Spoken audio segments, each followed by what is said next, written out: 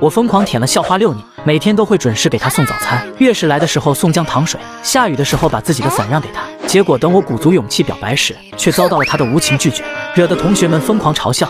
重生归来后，我不舔了，校花却急眼了。韩贝塔，再舔我一口吧。荣英，你看那边的人是不是你的小舔狗？太好了，免费苦力来了。韩贝塔，你过来。二位中午好啊，这是掏空了一座超市吗？少废话，快帮我们拎回家，都快把我们累死了。这儿离家还挺远的，二位要加油哦，我还有事。胖子，咱们走。嗯韩贝塔说完，和死党直接走了，留下目瞪口呆的二人。荣英，发生了什么？韩贝塔不应该快速的跑去买两杯冷饮，然后拎着大包小包送你回家吗？哼，肯定是我拒绝了他的表白，生气了。没事的，明天肯定又会继续舔我了。你真要把头发理了？这蘑菇头我记得是从小留到现在的吧？你再想想，千万别冲动啊！没冲动，又不是剃秃子，换个发型，换个心情，算是重启我的人生吧。我看你是昨天表白失败受刺激了，打算从头开始吧。韩贝塔还没来啊？不会表白失败，学也不上了吧？哼，癞蛤蟆还想吃天鹅肉，真是不知道天高地厚。舔了这么多年，到头来连手都没让碰一下，要是我的话，一定心都碎了。都是同学，你们在这幸灾乐祸不好吧？嗯，姐，他能干出这种事情，我们还不能说了。就是这小舔狗，万一想不开退学了，不知苏校花会怎么想。就在这时，一个眉清目秀的少年在众人注视下背着书包走进了教室。这哪儿来的帅哥啊？看起来有点眼熟，是新转学来的男神吗？贝塔，你来的正好，作业赶快给我抄抄。是韩贝塔，开什么玩笑？众人惊愕，仔细看去，这才发现那五官轮廓跟长相不是韩贝塔又是谁？不就是摘了眼镜，换了个发型，至于这么大惊小怪吗？之前没发觉韩贝塔竟然这么帅，之前畏畏缩缩的气质好像也不见了。昨天拒绝他的表白是不是太草率了？韩哥，这道题咋弄啊？我教你，我这段时间会冲刺补习，你跟我一起学就行。自己那点成绩，还带着别人一起学习，也不怕把别人带进沟里去。班长秦小龙阴阳怪气的嘀咕了一声，接着一脸谄媚的对校花说道：“荣英，我们一起学习吧。”苏荣英直接无视了他，反而来到了韩贝塔的书桌前。韩贝塔，我也想加入你们，可以吗？我跟陈云松两个人相互督促就够了，再多一个人反倒是感觉很累赘啊。所以苏同学，你还是找别人吧。哦，世道变了，校花居然被舔狗当场拒绝了。苏荣英感觉一股强烈委屈涌上心头。六年来，韩贝塔从来没有这种语气跟他说过话。韩贝塔，你怎么能这么对我？虽然我拒绝了你的表白，但我们还是可以做朋友啊。荣英，韩贝塔这小子不识抬举，还是我们一起学习吧。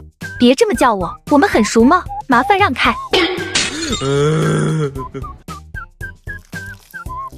你脑子坏了吗？苏校花主动送上门来了，你舔了这么久，不就等这一刻吗？他昨天才当众拒绝我的表白，我不要面子的吗？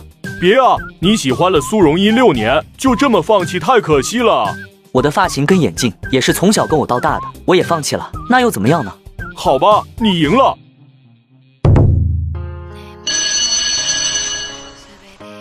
苏荣英感觉背着的书包就好像被人放了好几块砖头一样，她感觉肩膀都要断了。初中加高中六年，他这还是第一次知道，原来书包是如此的沉重，而自己却又偏偏弄丢了那个每天像跟屁虫一样舔狗背包客。此时此刻的他，好想念韩贝塔的电瓶车后座。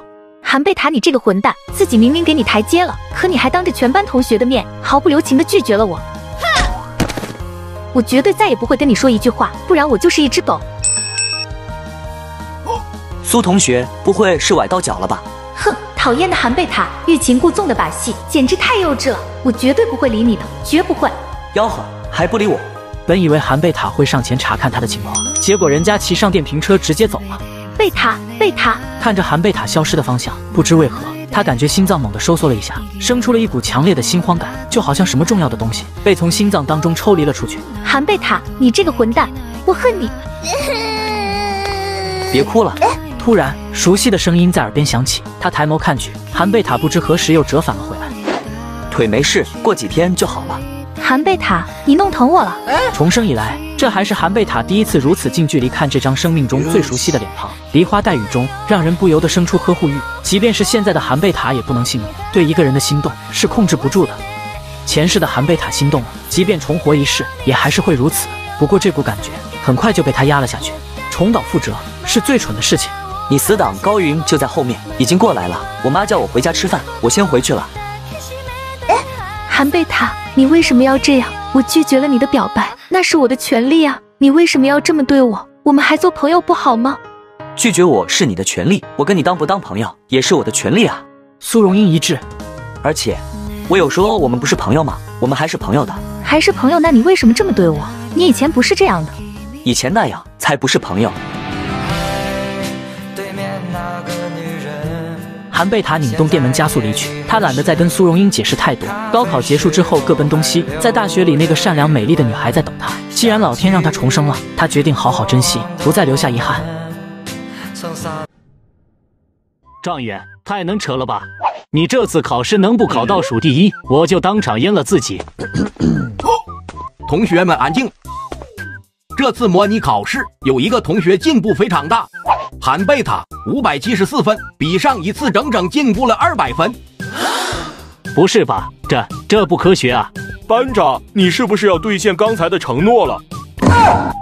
好了，不要闹了，希望韩同学戒骄戒躁，继续保持。对了，苏荣音同学受了伤，今天的卷子你帮他带回去，把老师们讲的一错点们给他讲一下。不去，没时间。顾老师，我可以去。你这班长跟着填什么乱？刚才打赌还嫌不够丢人吗？啊，韩贝塔，没时间也得去。你俩岁数，这是交给你最合适。哎，那好吧。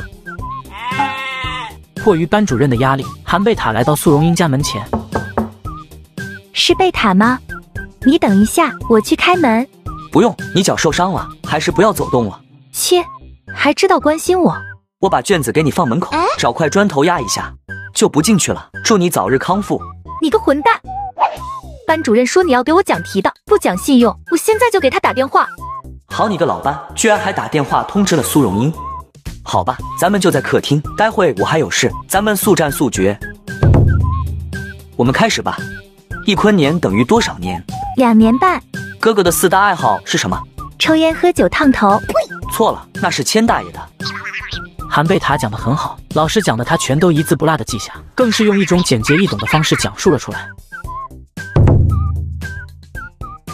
这些都会了吗？嗯嗯，都会了。贝塔，你讲的真好。就在这时，一个中年女人走了进来，五官脸型依稀可见一点苏荣英的影子。小贝塔换了个发型呀，真是越长大越帅了。阿姨好，班主任让我来给苏同学补课，那真是麻烦你了。阿姨不打扰了，你们继续。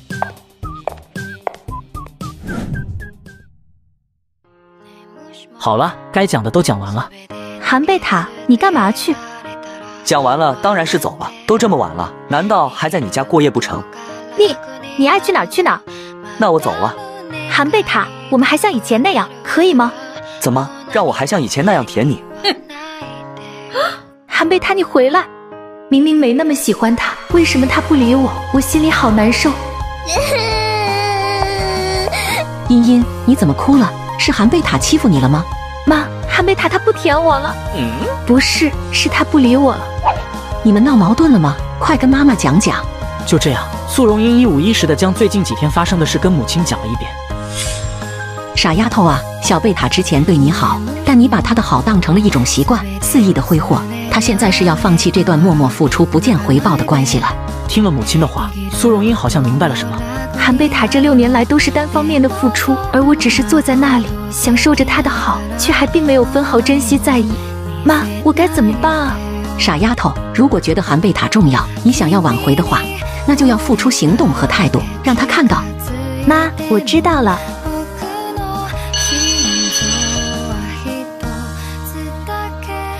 贝塔，嗯，这是给你带的早饭，我妈做的，你趁热吃吧。啊，没看错吧？以前都是韩贝塔给苏荣音带饭，苏荣音还老嫌难吃，怎么今天反过来了？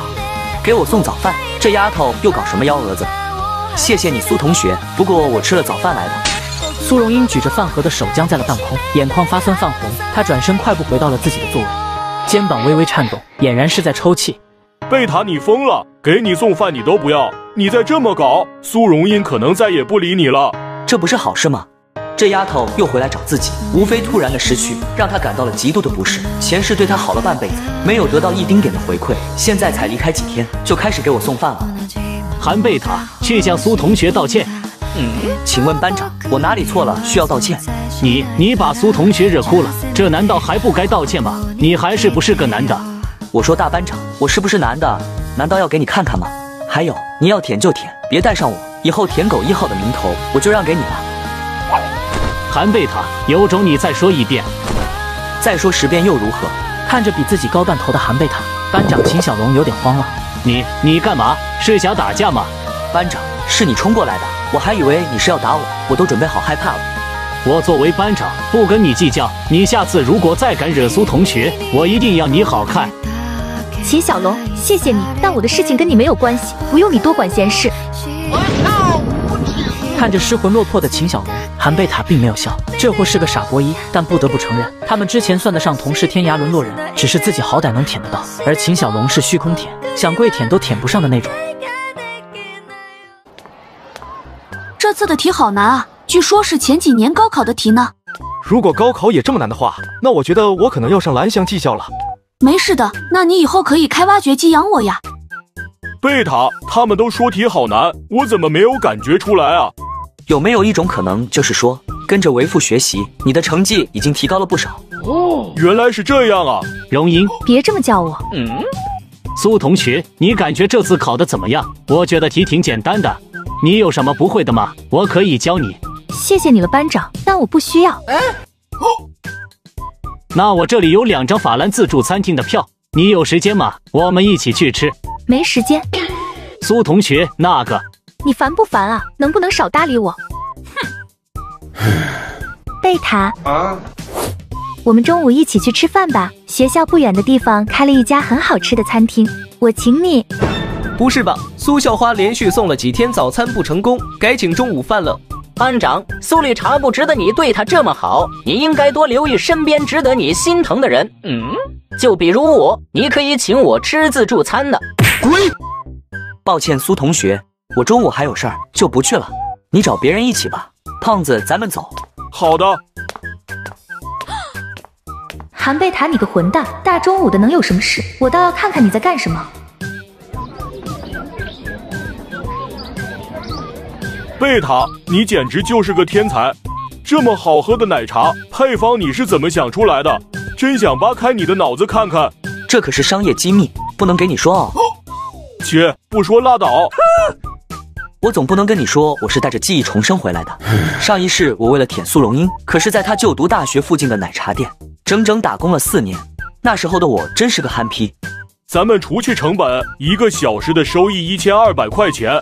靠，这几天赚了有整整一万块了。这才哪到哪，跟哥混，带你做风口上的猪。我呸，你才是猪呢！今天是最后一天，卖饮料的业务自此正式结束。后面二十天，咱们全力备战高考。好的，贝塔，都听你的。就在二人准备收摊时，苏荣英拿了一摞钱递到韩贝塔跟前。啊，你这是干嘛？挽回不成，改买了。我不卖的。贝塔，这是五百块钱，你拿着。我拿你的钱干什么？你最近不是很缺钱吗？你从哪里看出我很缺钱了？不缺钱，你卖饮料干什么？这钱你拿着，这回应该有时间跟我一起吃饭了吧？谢谢你了，苏同学。不过我真的不缺钱。我明天开始就不卖饮料了，我得全力冲刺高考，也还是没时间跟你出去吃饭。再次谢谢你的邀请。说完，韩贝塔直接骑着电驴子走了。胖子，别忘记收摊，我先回家吃饭了。苏同学，贝塔真的不缺钱，这十天我们卖饮料就挣了一万多块。什么？几天挣了一万多块？苏荣英怔在了原地，她的心头生出了一种强烈的无力感。她突然发现。自己所有骄傲的东西，在想要挽回韩贝塔这件事上，都是那般的苍白无力。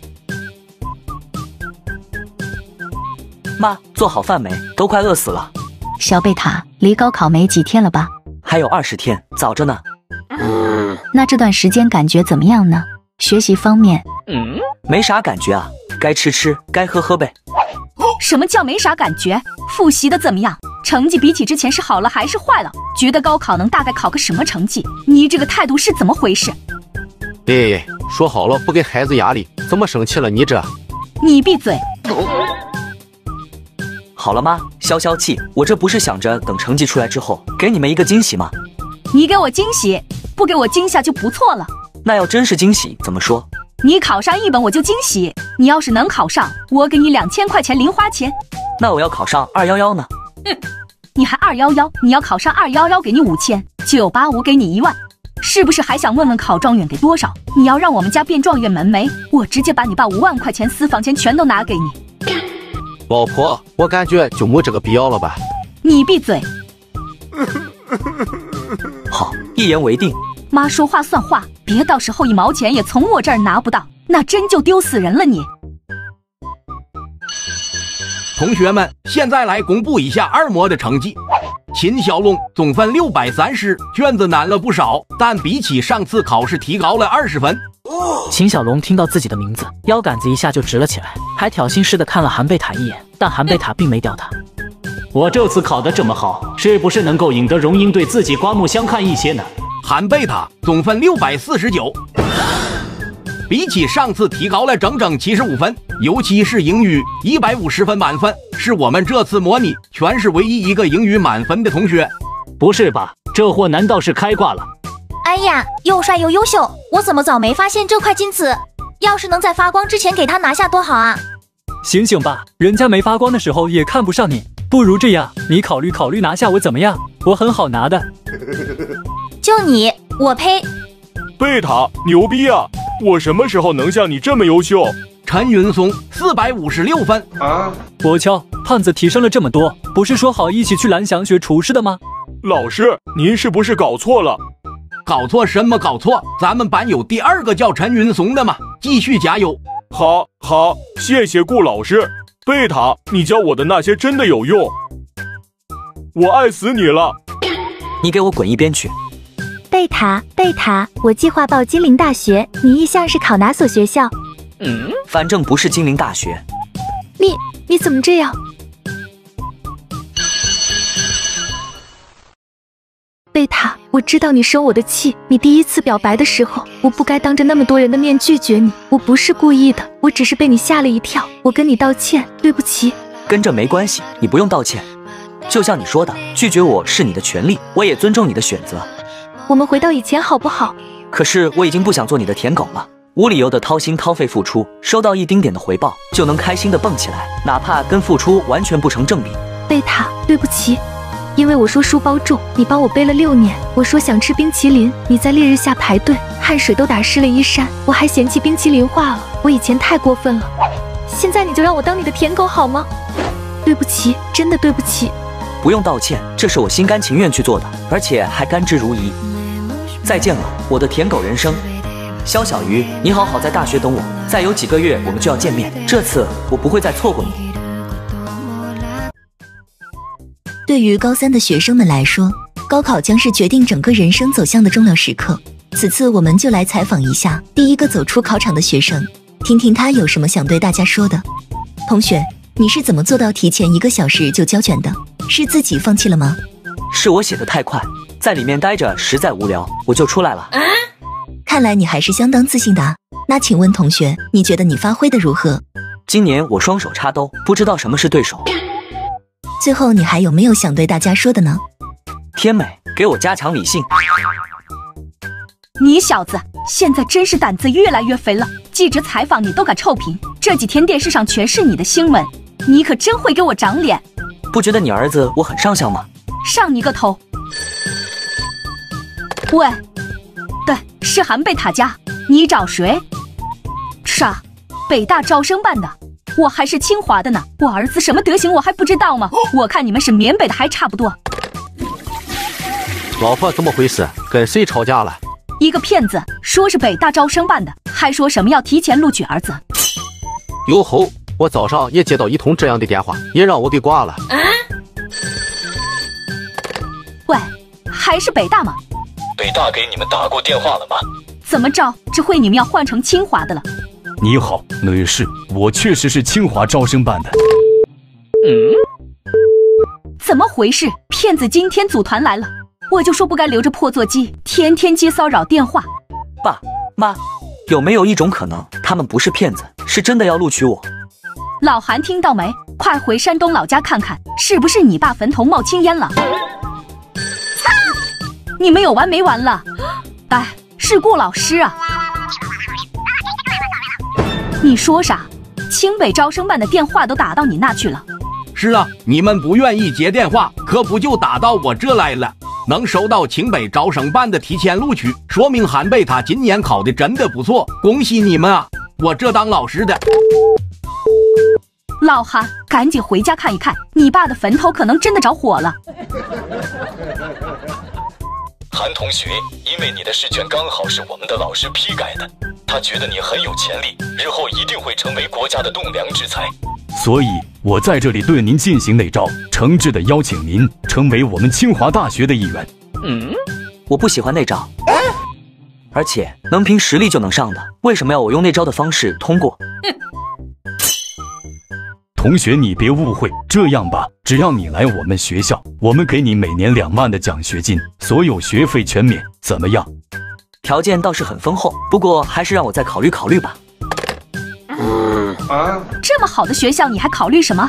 脑子怕不是抽筋了吧？妈，其实我另有打算，我准备去浙大。哦浙大，孩子他爸，浙大比清华还好吗？我哪知道，你上网查下呗。韩贝塔父母不知道的是，他已经答应了浙大的邀请，对方承诺一次性给二十万奖学金，外加所有费用全免。学校这事你们就别管了。还有，现在是不是该兑现你们的承诺了？都给你准备好了，这是你爸唯一的私房钱，五万块，省着点花。我操，无情！妈，我能跟贝塔去同一所学校了。宝贝考得真好，妈妈也替你开心。疯了疯了，茵茵真是疯了啊！哎，高云怎么了？高考考砸了吗？不是不是，你快看班级群里，热烈庆祝咱们班的韩贝塔同学以文科七百三十五分的优异成绩，成为本年度高考状元。我操，状元韩贝塔牛逼啊！七百三十五分，这是文科历史上的最高分状元了吧？韩贝塔这一个月成绩坐火箭一样提升，这好像是从被苏荣英拒绝开始的。擦，怪不得韩贝塔这么久一直反过来拒绝苏荣英，拔情绝爱才能百战不殆。本来以为可以和贝塔上同一所大学，没想到他是全国状元。妈，我该怎么办啊？唉，春天来了，万物复苏。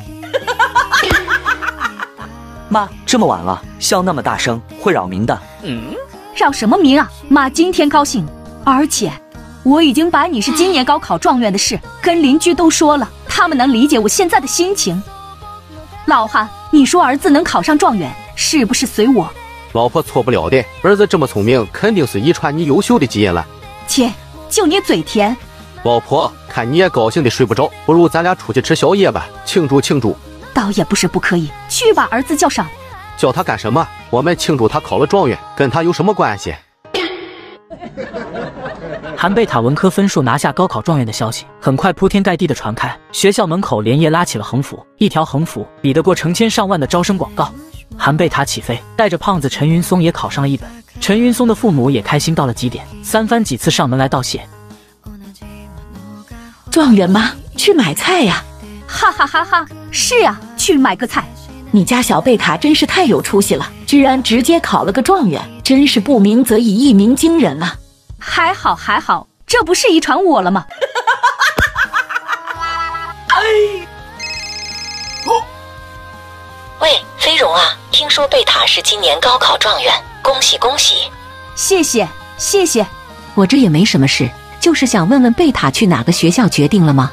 你说学校啊？贝塔报了浙大，浙大。是啊，咱也不知道为啥放在清北不去，非要去浙大。那太好了，飞荣，你抓紧忙吧，我就不先打扰你了。那太好了，什么意思？妈，韩贝塔真的去浙大吗？对呀，我刚跟你陈阿姨打电话，你又不是没听到。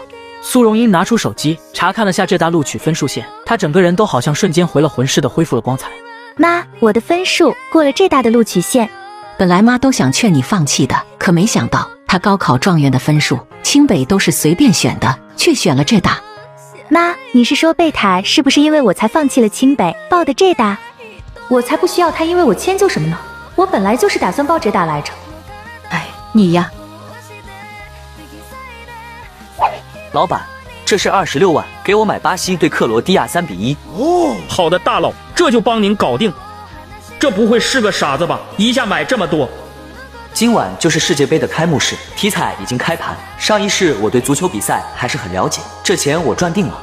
根据前世的记忆，韩贝塔又买了六场比赛，卡里的余额直接翻倍到了四百万，接下来将会翻倍到整整十二亿。趁着暑假期间，韩贝塔迅速考完了驾照，让还差几个月才到十八岁的陈云松羡慕不已。贝塔，你这学驾照也太快了吧！男人不能说快，快跟我道歉。道你妹！道歉，带你吃大餐。哦，大哥，对不起。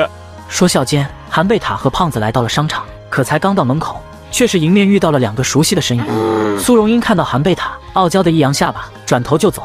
韩贝塔故意跟自己报一座学校，也就是说，他这么长时间对自己做的一切，真的就是在欲擒故纵，让自己一次次那么伤心，那么丢脸，才不要那么轻易就原谅韩贝塔。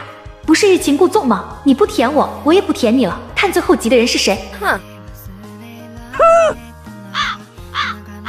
这俩人什么情况？不知道，可能是嗓子不舒服吧。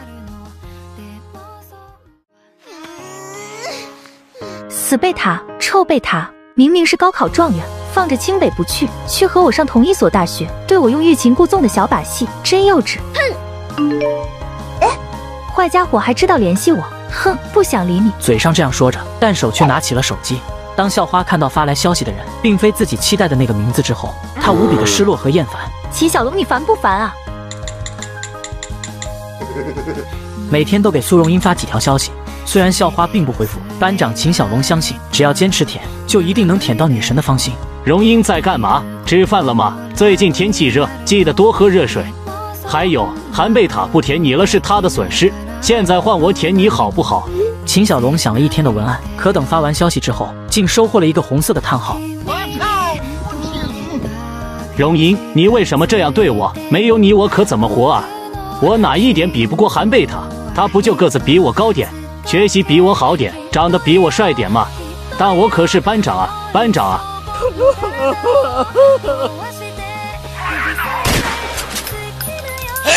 嗯，这大热天的怎么会打喷嚏？世界杯结束了，手里的钱应该也够前期创业用了。韩贝塔通过上一世的记忆，在世界杯的足球彩票中杀疯了，最后更是通过德国七比一淘汰巴西赚得盆满钵满。此时他的卡里已经有了整整十亿。有了这么一笔雄厚的启动资金，韩贝塔想要建立起自己的商业帝国将会变得简单许多。紧张的高考总算落下帷幕，班主任古老师喊了全班同学一起聚餐。韩贝塔跟胖子早早来到饭店门口，班上的同学也陆续到了。苏荣英姗姗来迟，秦小龙紧随她其后，那模样有种两个人一块来的感觉。看到韩贝塔，苏荣英依旧一脸傲娇的模样，可韩贝塔只是看了他一眼，就直接把头转向了一旁，跟女同学说说笑笑。根本没有分毫在意他的模样，他没来由的心头一慌，又看到了在自己身边的秦小龙，顿时以为是韩贝塔误会了他们两个一起来的缘故。秦小龙同学，麻烦你以后离我远一点好不好？嗯，荣英，你怎么了？我什么都没做啊。我说过多少次了，不要叫我荣英，我跟你不熟。贝塔，我跟秦小龙不是一起来的，你不要误会。误会。你俩怎么样？关我屁事！他不是不理我了吗？还跟自己解释个什么劲？哼，韩贝塔，你这个表里不一的家伙，明明跟我报了同一所大学，到现在了还在演戏，也不怕我真不理你了？状元，咱俩走一个，今天不醉不归。今天是高兴的日子，可以喝，但是水也不能喝到发酒疯的地步，不然的话，水破坏了这最后一次的聚餐，水真就成了我高中三年一直在说的坏了一锅汤的老鼠屎了。班主任放心，有我在，看谁敢当老鼠屎！我说秦小龙，咱们都毕业了，你还耍班长的威风呢？你瞎说什么？我只是在维护餐桌纪律。好了，秦小龙，大家都毕业了，不用那么拘谨，今天吃好喝好。好的，班主任，我知道了。哎，班长，我记得你当时说，如果贝塔考上状元，你就要挥刀自宫，还是怎么的？我是和韩贝塔开玩笑的，又不是想念葵花宝典。这你们也当真？没了高考的压力，所有人都变得格外轻松。从天南聊到海北，聊曾经的生活，聊未来的理想。不知道谁率先引起话题，人们开始说起了这次高考的分数，跟接下来要报考的学校。这个话题才刚刚开始，秦小龙就脸黑如墨的说了一声有事，提前离场了。人们面面相觑，都有些疑惑。只有韩贝塔知道，这是因为秦小龙的分数只够一本的缘故。实际上，这种时候并不会有人嘲笑他，觉得他丢脸。谁又能保证绝对能够春风得意马蹄疾？高考发挥失常的人太多太多了，不知道什么时候都红了眼眶。这场饭吃完，高中的三年就彻底结束了。天下没有不散之筵席，此番别过，只是为了更好的重逢，所以还请大家不要伤感别离。说着不要伤感，可开口两句话都没有讲完，顾大飞就已经有些抑制不住的哽咽。山高路远，愿逐君扶摇直上。看着这一切，就连韩贝塔的眼眶也酸到了极点。伤感是毕业季的主旋律。青春总是短暂的，枯燥而又让人麻木的高中三年，真到结束的时候，又是让人那般的不舍。我舔了校花六年，他都没看我一眼。我以为校花看不上我是因为我没钱，于是向父母要了五十万，准备做生意。在银行取钱时，我遇到一个瘦弱好看的女孩，却一副失魂落魄到了极点的模样。当我准备进银行时，她扑通一声晕倒在地，我连忙把人送去了医院。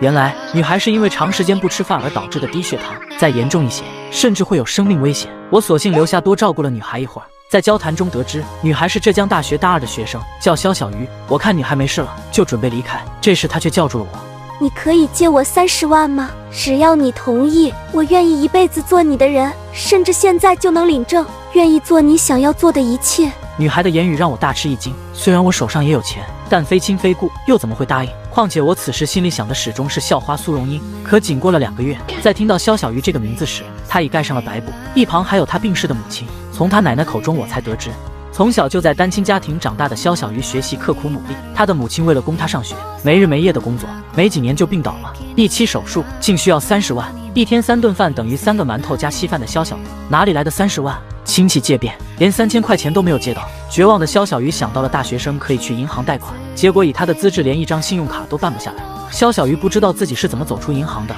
再睁开眼睛就已经来到了医院里。即使在最困难的时候，他也从来没想过出卖自己去获得这笔救命的钱。可他却对我说了那样的话，可能是在我身上感受到了最后一丝温暖。如果我真能帮他治好母亲，或许他真的愿意一辈子跟着我，不离不弃。可我却拒绝了。肖小鱼此后为了医药费。四处打工，可再努力也凑不出三十万。母亲还是走了。长期营养不良和过度劳累，加上悲伤过度，肖小鱼最终心力衰竭，潇湘玉殒。站在肖小鱼墓前，我失声痛哭。想起校花苏荣英，把我多年对她的好当成一场理所应当。原来这个世界上有更值得被爱护的女孩子，只可惜这个女孩永远没有被偏爱。世界如此美好，可却从未对她降临过半秒。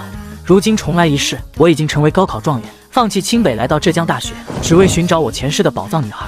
来到浙大的第一天，韩贝塔本来还想着学校这么大，想要找到一个人并不容易，可结果却如此巧合，他们竟然在同一个班级。坐在角落里的肖小鱼好像察觉到了韩贝塔那灼灼的目光，只是看了一眼，立马又惊慌地低下了头去。肖小鱼，又见面了，很高兴可以重新认识你。说着，他朝着瘦小身影所在的角落走去。肖小鱼死死地低着头，有些惊慌失措，不知道韩贝塔想要干什么。你好，我叫韩贝塔。你好，我叫肖小鱼。他轻轻跟韩贝塔的手捏了一下，然后又闪电般收了回去。肖小鱼同学，有没有人说过你的眼睛很好看？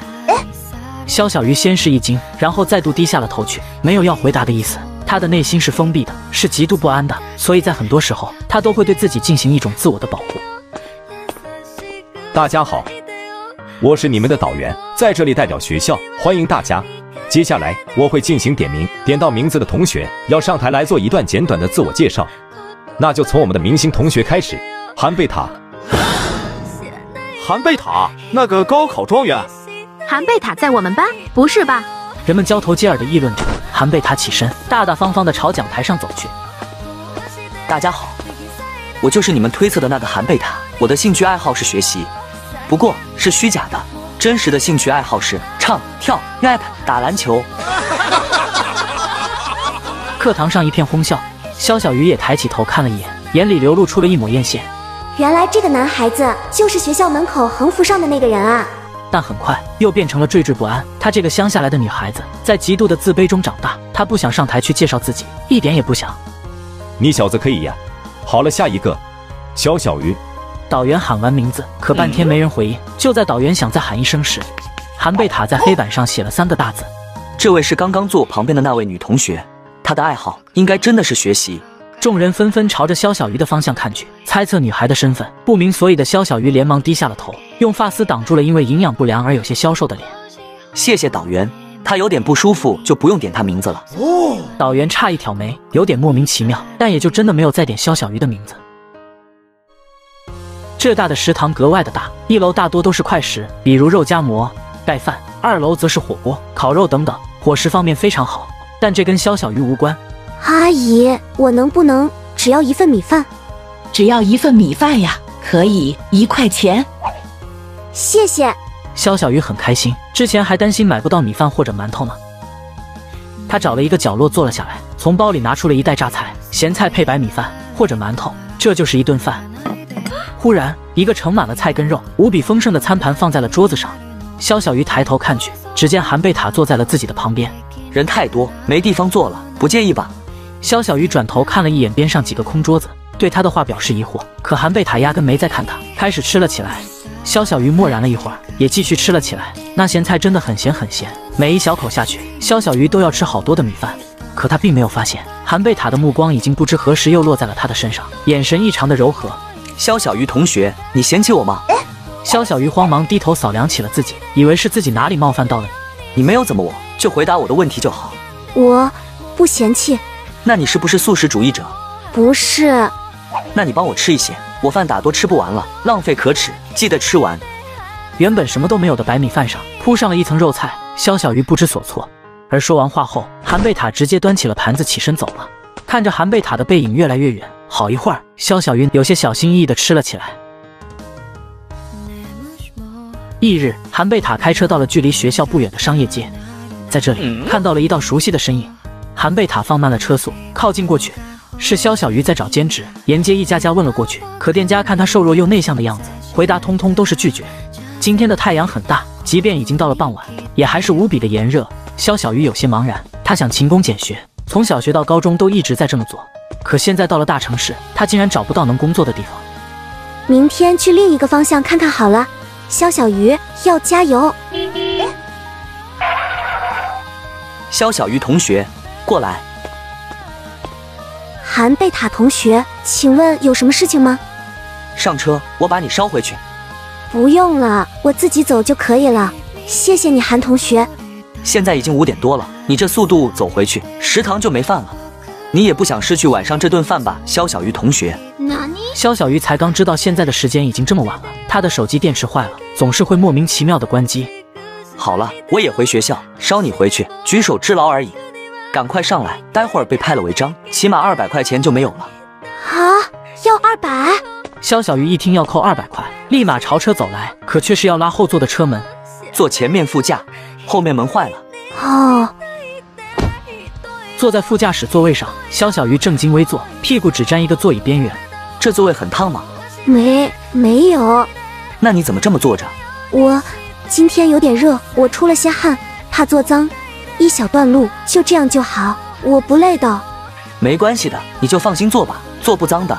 真的不用。那你不系上安全带，我怎么走？被拍到的话要扣五十块钱的。坐个车怎么这么多地方要扣钱？我想回老家了。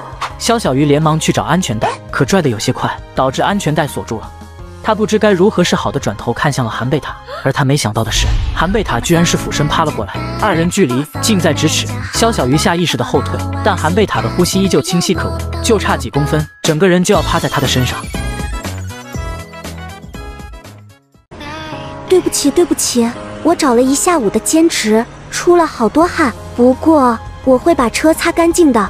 要不这样吧，你帮我把车擦一遍，我今晚请你吃饭，怎么样？不用不用，我可以擦，不需要你请我吃饭的。而且你带我回学校，还有中午的菜，我还没有谢谢你。带你回学校是举手之劳，中午的菜你帮我吃了，没有让我浪费粮食，我还得谢谢你呢。哦这么说的话，那就请你两顿饭。啊，韩贝塔同学，你真的不用请我吃饭，一顿也不用。好吧好吧，那就算了吧。虽然时间已经过了饭点，但食堂里吃饭的人依旧很多。肖小鱼以为韩贝塔放弃请自己了，便在有白米饭的窗口排起了队。阿姨，我要两份顶配全家福套餐。好嘞，稍等。肖小鱼同学，来帮我端一下。哎，哦，这就来。韩贝塔同学为什么要打两份饭？肖小鱼心底闪过了一抹狐疑，但他并没有去往这是给自己买的这方面想，因为他在除了奶奶妈妈之外的任何人心里都没有重要过哪怕一次，早就已经不会自作多情抱一丁点幻想。轻抿着嘴巴看了一下前后，肖小鱼还是放弃了排了半天的队伍，向韩贝塔走去。放下餐盘后，肖小鱼转身又要回去排队。肖小鱼同学，啊，你不吃饭去干什么？啊，我还没有打饭呢。已经打完了，哎，赶快坐下吃吧。这一份真的是给自己打的？肖小鱼愣住了，心中生出了一股别样的感觉，他从小到大从来没有过的感觉。我真不用请我吃饭的。买都买了，我一个人怎么吃两份？上次你也看到了，我一份都吃不完。既然你不吃，那还是丢了吧。别丢别丢，我吃我吃。肖小鱼吃的很小口，细嚼慢咽。他不知道自己以后要再过多久才能再吃一顿这种饭，每一口他都在仔细品尝着味道，品尝食堂里的饭。我吃饱了，哎，麻烦小鱼同学帮我收一下吧。韩贝塔笑着说完，起身就要走。餐盘是要自己放去收纳地方的。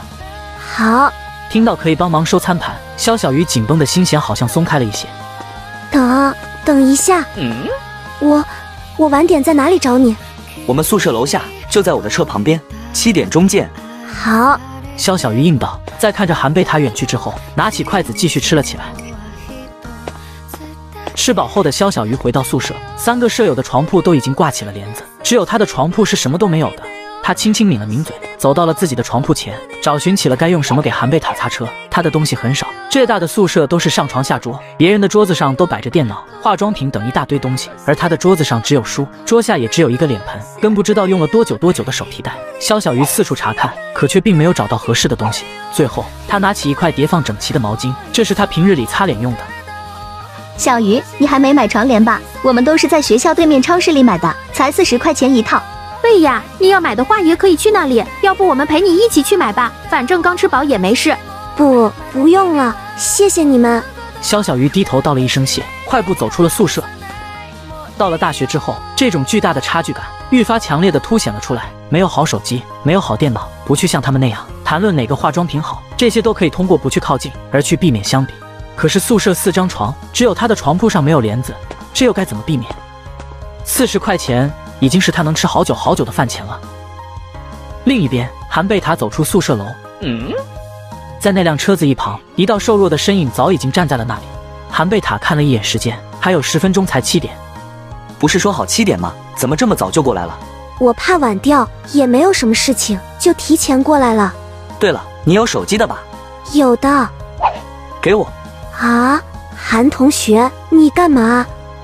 我手机不知道放哪了。用你的打电话找找。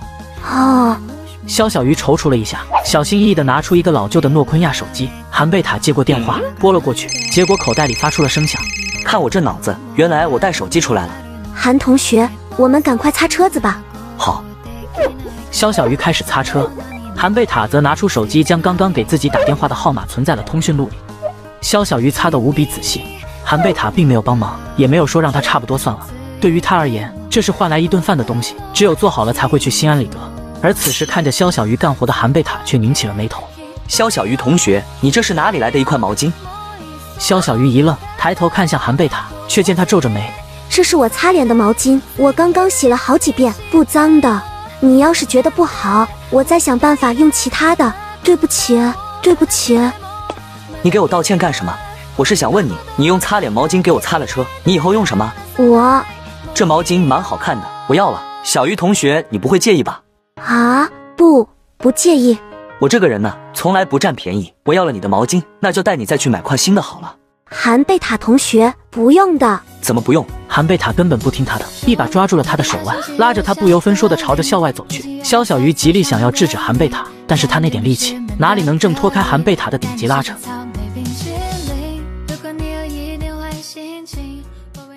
我舔了校花足足六年，但校花却一直把我的好当做理所当然。如今重来一世，我不舔了，校花却急眼了。而我在大学里终于找到了自己的宝藏女孩。九月虽已入秋，但气温依旧很高。顶着炎炎烈日，新生们迎来了最讨厌的军训。军训的第一节课就是站军姿，所有人一直站到太阳落山才终于解散。此时的肖小鱼脸色有些惨白，如果不是韩贝塔昨天让他吃了两顿有营养的饱饭，他绝对要比现在更加难受。韩贝塔在食堂等待已久，看到萎靡不振的肖小鱼，他心中一紧。小鱼同学，肖小鱼一惊，转头看去，只见韩贝塔早已为他打好了饭菜。韩贝塔同学，我自己打饭就可以，真的不用你再请客了。说好了请你两顿，怎么是这些吃腻了吗？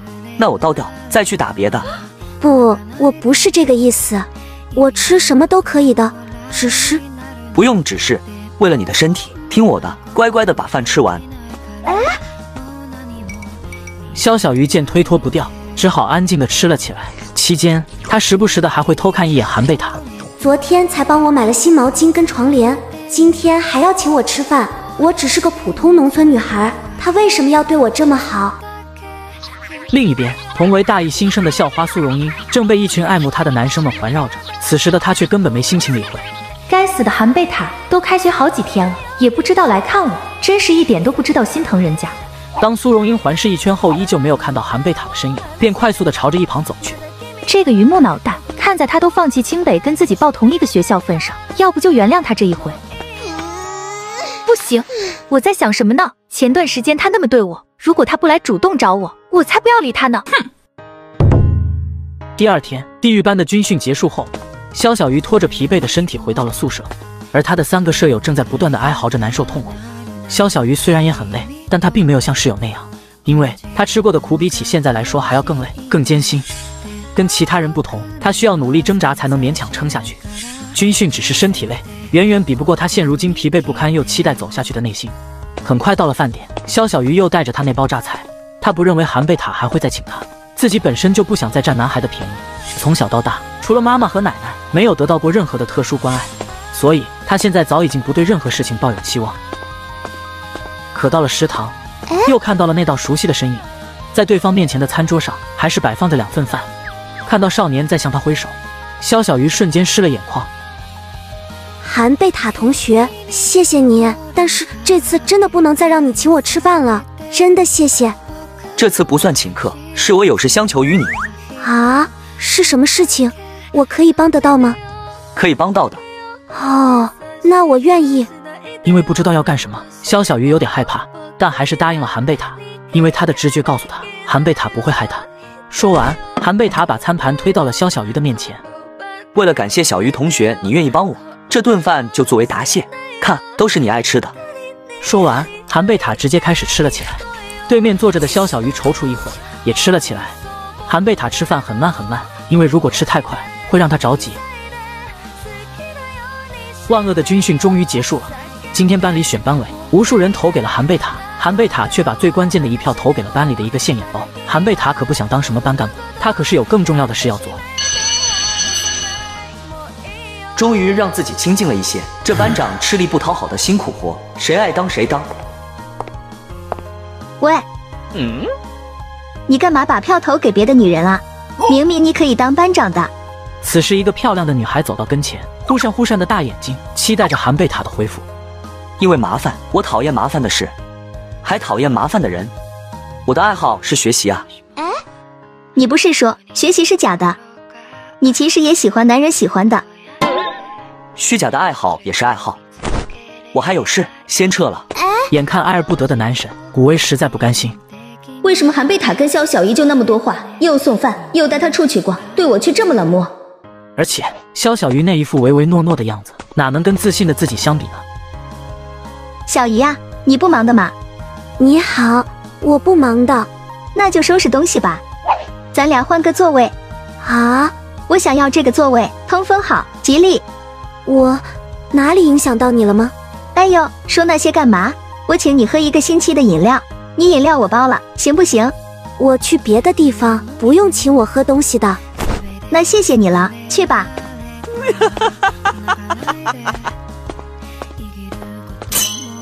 咦，人呢？回到教室的韩贝塔一脸懵，出去一趟的功夫，肖小鱼就换了座位。嗨，你回来了，我一直给你占位置呢。韩贝塔越过了没话找话的古威，直接朝着肖小鱼走过去。你怎么在这啊？我就是觉得这里清静一些。看了眼古威，韩贝塔瞬间明白一切，迈开步子就走了过去。古威此刻心潮澎湃，终于被这大风云人物关注到了！天哪，多少人羡慕啊！感谢你的小心思，但对此我无能为力，因为你不是我喜欢的类型。及时止损是聪明女孩子该做的事情。我相信你是个聪明人。我早就跟你说过，我讨厌麻烦的事，还有麻烦的人。如今我再说一次，我更讨厌我身边的人被伤害。如果他受到一点委屈，哪怕是一丁点，我直接翻脸不认人。不要轻易尝试，我生气可是很吓人的。原本志在必得、眼含爱意的古威愣住了，他看出来。韩贝塔笑容背后的冷漠是多么吓人，这意味着肖小鱼是被韩贝塔守护的人。他古威不能再对肖小鱼说一句重话，哪怕是一丁点，韩贝塔都不会放过自己。他不懂自己到底差在哪里。凭什么？为什么？他肖小鱼哪配？为了让肖小鱼勤工俭学不那么辛苦，也是为了弥补上一世自己辜负过的宝藏女孩，韩贝塔直接为肖小鱼在商业街盘下了一家奶茶店。这是我投资的店铺，现在还处于装修时期。小鱼同学，你每天来帮我监工怎么样？嗯，要我做监工？韩贝塔同学，我不懂这些啊，会耽误你的。没事，其实你也不用做什么，到时候让工人给你汇报装修进度，你负责查验后告诉我一声就行。可是，没什么可是的，这奶茶店的名字就叫蜜鱼冰城，和你缘分不浅。而且昨天我就说了，有事求你帮忙，并且你还答应了。你也不想当个言而无信的人吧？那。那好吧。随后，负责施工的设计师跟肖小鱼说了具体的装修计划。肖小鱼听的也是特别认真，生怕错漏了一个字。他觉得自己一定不能辜负韩贝塔的信任。小鱼是个自尊心很强的女孩，她不会一直无缘无故受人恩惠，只能用这样的办法，先让他吃上饭吧。毕竟我重生前，他就是因为营养不良才过世的。我也不是让你白白帮忙的，你这段时间一日三餐我全包。还有，这里有一部新手机，你拿去用。不行不行，我就是单纯要帮你，我不要钱的，更不能拿你东西。你先听我说完，你那诺坤亚老是关机，关键时刻如果没法及时联系你，延误了工程进度该怎么办？啊，我没想过这些。这是为了更好的完成工作，你就不要推辞了。听到没，小鱼同学？肖小鱼用的是老式诺坤亚手机，可能年头久了，经常关机，这种联系不上人的感觉，让韩贝塔很揪心。那好吧，我先用着。等我以后打工挣钱了再还你，用着吧。以后的事以后再说。自从跟韩贝塔相遇之后，肖小鱼不仅觉得这是自己的幸运，仿佛身边的一切都往着好的方向发展。韩贝塔眼看肖小鱼情绪不错，接着说道：“你不要钱，我就管饭，我还带着你打游戏，保证你开开心心的。咱就这么定了。”好。随后二人来到学校食堂准备吃饭，结果肖小鱼看到门口的公告又犯了难。啊！食堂停电了，吃饭最便宜的地方如今不开业了。肖小鱼一时间不知如何是好。韩贝塔笑呵呵的不当回事，拉着肖小鱼就去别的地方。哎，韩同学，咱们去哪呀？别问了，跟我走就好。随后二人来到附近最大、货品最全的大型超市。韩贝塔不停往购物车里塞东西，都是价格高的食材。肖小鱼看着都觉得揪心。小鱼同学，你会做饭吗？哎，肖小鱼一愣。刚想要下意识的答应，可看着眼前这些食材，他却有些懵。难道要我拿这么贵重的食材来做饭用吗？不不不，这不行的。肖小鱼连忙拒绝，生怕毁了人家好多钱买的好东西。我可以帮忙做饭，但我不用吃的。韩贝塔轻微叹了一口气，这么好的女孩子，要受了多少委屈，才会变得如此小心翼翼，如此懂事？哎，没办法，我懂了。啊，你懂什么了？肖小鱼话还没说完，韩贝塔电话就响了。果然是最好的哥们，关键时刻不掉链子。请问是家政公司吗？我要雇人。贝塔，我想死你了，也不来看看我。哼，啥玩意？几个菜啊？你喝成这样，我是你兄弟啊？什么？一天才来不到四个小时，管两餐还要四千？听到要四千，肖小鱼一惊。那我可以做饭吗？你不用雇佣保姆了。我要去哪里做饭啊？北栋楼的竹林独栋啊，这是哪里？当然是学校奖励的。原来，当初韩贝塔选择来到这的，条件非常丰厚，其中就包含这竹林独栋的宿舍。我去逛逛超市别的地方，马上就回来。好的，去吧，我在这等你。我需要食谱才能给他做顿好饭，不浪费了这么好的食材。韩贝塔一脸笑意的看着肖小鱼离开的背影，正在那幻想着美好生活，可幻想立刻就被打破了，因为眼前出现了校花苏荣英。她依旧美丽动人的那婀娜多姿的体态，确实吸引目光。好巧呀，食堂停电，你也打算买菜做饭？果然还是喜欢我。他购物车里面的食材都是我喜欢的。贝塔，沉不沉？我帮你拎点，咱们一块回去吧。谢谢你，不用。他肯定是怕我拎不动吧？切，你个死要面的家伙！贝塔，我能拎得动的。你挑选食材这么辛苦，我拎点东西是应该的。此刻肖小鱼刚好回来，看到苏荣英跟韩贝塔靠得很近，他愣在了原地。这个女孩好漂亮啊！原来除了我，韩贝塔还约了别的女孩子呀。肖小鱼低头看了看自己，有些自惭形秽，他的自卑心再一次涌现，主动站在最旁边，避免两人看到自己。默哀老子，别来沾边！哎，韩贝塔，你什么意思啊？你这欲擒故纵有点过头了吧？我给台阶了，为什么不下？咱俩是朋友，普通朋友，注意保持距离。你退半步的动作认真的吗？小小的动作伤害还那么大。苏同学，我已经有了心上人，请你离开，我不想让他看到产生误会。你在说什么？他是谁？你难道真的不喜欢我了吗？这放荡的灵魂，不经意间伤了你的心。如果我们还有可能，我会朝着宠坏你的大路狂奔我舔了校花六年，她都没看我一眼。如今我找到属于自己的宝藏女孩，校花却急眼了。你说什么？你已经有了别的心上人？快告诉我，那女孩是谁？那女孩是谁？跟你有关系吗？咱俩只是普通朋友罢了。此时的苏荣英经受不住这种言语，眼眶已经泛红。怎么会发生这种事情？他不是一直都只喜欢我一个人吗？我不允许他照顾其他女人。韩贝塔，以前不管刮风下雨，你都站在校门口等我回家，你现在怎么变了？你当时拒绝了我的告白，还说那是你的权利。苏同学，请继续保持你那桀骜不驯的态度，对你有好处。苏荣英不信舔了自己多年的韩贝塔会转头去舔别人，他肯定是装的，只是一时之气罢了。我给站在两人不远处的肖小鱼目睹了他两人交谈的全过程。韩贝塔肯定受到了很大的伤害吧？不然一向温柔的韩贝塔怎么会如此冷漠呢？还有他说的心上人，该不会是……虽然我有了心上人，但我并不想谈恋爱。至于你。说这些有意义吗？好吧，苏荣英，我最后说一次，我的心上人纯洁善良，我喜欢他，我要保护他，听懂了吗？韩贝塔的一席话瞬间让一旁的肖小鱼慌张了起来。我要保护他，他对我这么好，难道他说喜欢的女孩就是我？同时，被韩贝塔言辞拒绝的苏荣英紧皱眉头，不肯让眼泪掉下来。短暂的迟疑之后，便头也不回的走开了。为什么会变成这样？韩贝塔竟然拒绝了我！我不甘心，实在是不甘心，我差在哪里了？我一定要知道他是谁。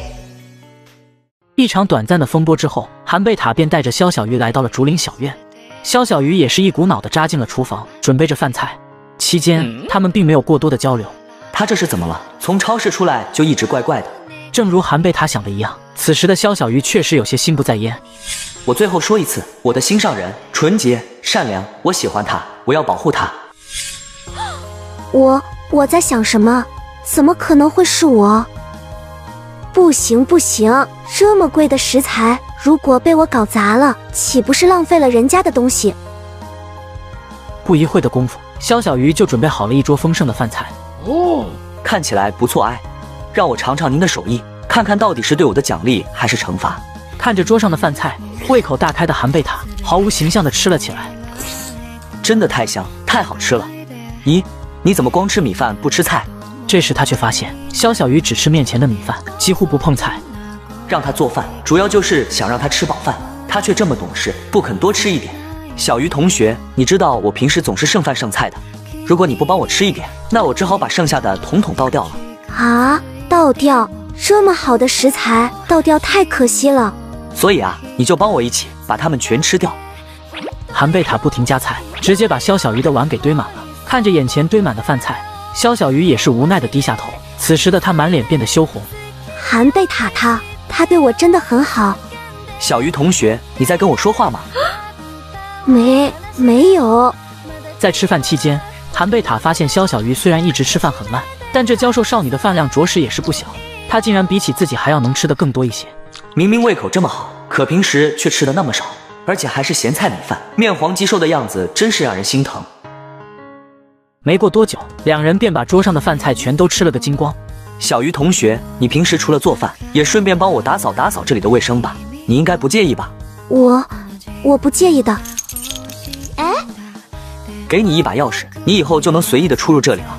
钥匙就这么交给我，韩同学，这不行的。你不拿钥匙，怎么提前过来做饭？难道要我天天开车把你接到这里吗？我，我不是这个意思。钥匙我收下，你不用来接我。对了，一会我还有事，我先离开一会。今天你也忙碌了一天，身上全是油烟味。淋浴间在里屋，洗发水、沐浴露什么的我都帮你准备好了。我帮你也买了一套洗漱用具，以后做完饭你都可以在这里洗澡，不需要水费的。韩贝塔的一席话让肖小鱼愣在了原地，只因他平时一顿饭才吃一块钱，这么热的天，洗澡的水费他更是舍不得花，每天都是等室友睡了，用脸盆打凉水清洗。你以后有脏衣服什么的都可以拿这里洗，洗衣机是干净的，可以直接用。这就算是你帮我打扫卫生和做饭的交换。我先走了，记得锁好门，带好钥匙哦。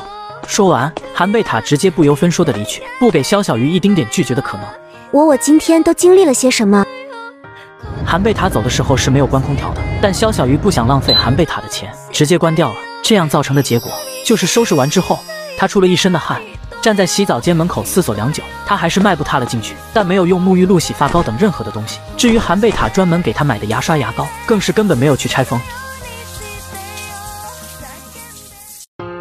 毛巾二十元，吃饭五十元，手机一千五。肖小鱼很认真的在笔记本上记录着账目。原来他将这段时间韩贝塔请自己的饭、给自己买的东西，全都仔细的记录了下来，每一笔他都在后面标注了价格。一次都没有落下过。经过韩贝塔这一个多星期的投喂，肖小鱼娇瘦的身躯好像也充盈了许多。那由于长期营养不良而蜡黄的小脸也恢复了些血色。他是全国高考状元，不仅人长得帅，性格也好，一定有不少女孩子喜欢他吧？你已经有了别的心上人，快告诉我，那女孩是谁？这跟你有关系吗？苏荣英，我最后说一次，我的心上人，我喜欢她，我要保护她，听懂了吗？那个女孩那么漂亮。贝塔同学都忍心拒绝她，却对我这个条件一般的农村女孩这么好。就在肖小鱼还在思考这个问题的时候，同寝室的三个室友全都围了过来，脸上都带着奇怪的笑容。你、你们这是有什么事吗？小鱼同学，你最近是不是对我们隐藏了什么秘密呀？没有啊，为什么这么说？还说没有？平时的你那么省吃俭用，可短短一个星期，你身边的家伙事都置办齐了。就是这段时间都没见你在学校食堂吃饭，怎么？是不是背着我们交男朋友了？快说快说！呃，没有没有，我们只是……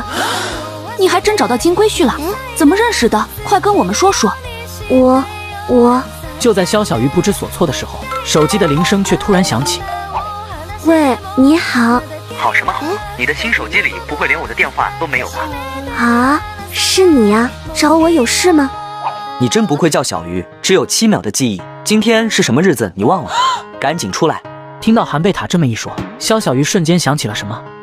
我们的小鱼同学要去约会了，是不是？嗯，不是啦，我我，哎呀！也就在今天，韩贝塔的奶茶店终于迎来了开业的日子。由于环境舒适，价格低廉，一开张就引起了不小的轰动。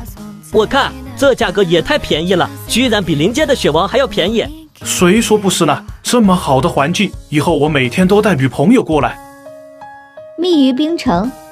此刻站在人群中的古威一眼就看出了这家店名的含义。在看到店内站在收银台前工作的肖小鱼后，古威的内心更是充满了嫉妒。为什么？我古威活泼开朗，身材好，长相也不错，不知道有多少人追求，怎么会输给他肖小鱼？古威愤愤地站在原地，思索了许久，也没有想通这个问题。正当他转身准备离开时，迎面走来的一个身影，却让他当场愣住。那女孩脖子修长，脸容精致，妙曼婀娜的身材散发着一股强烈的骄傲气质。好漂亮的女孩啊！你听说了吗？这家店是我们学校一个叫韩贝塔开的，不仅有钱，长得帅，还特别有爱心。听说他这里的店员全都是我们学校的贫困生。我还听说吴小敏，哎，咋啦？你想不想喝奶茶？我请你。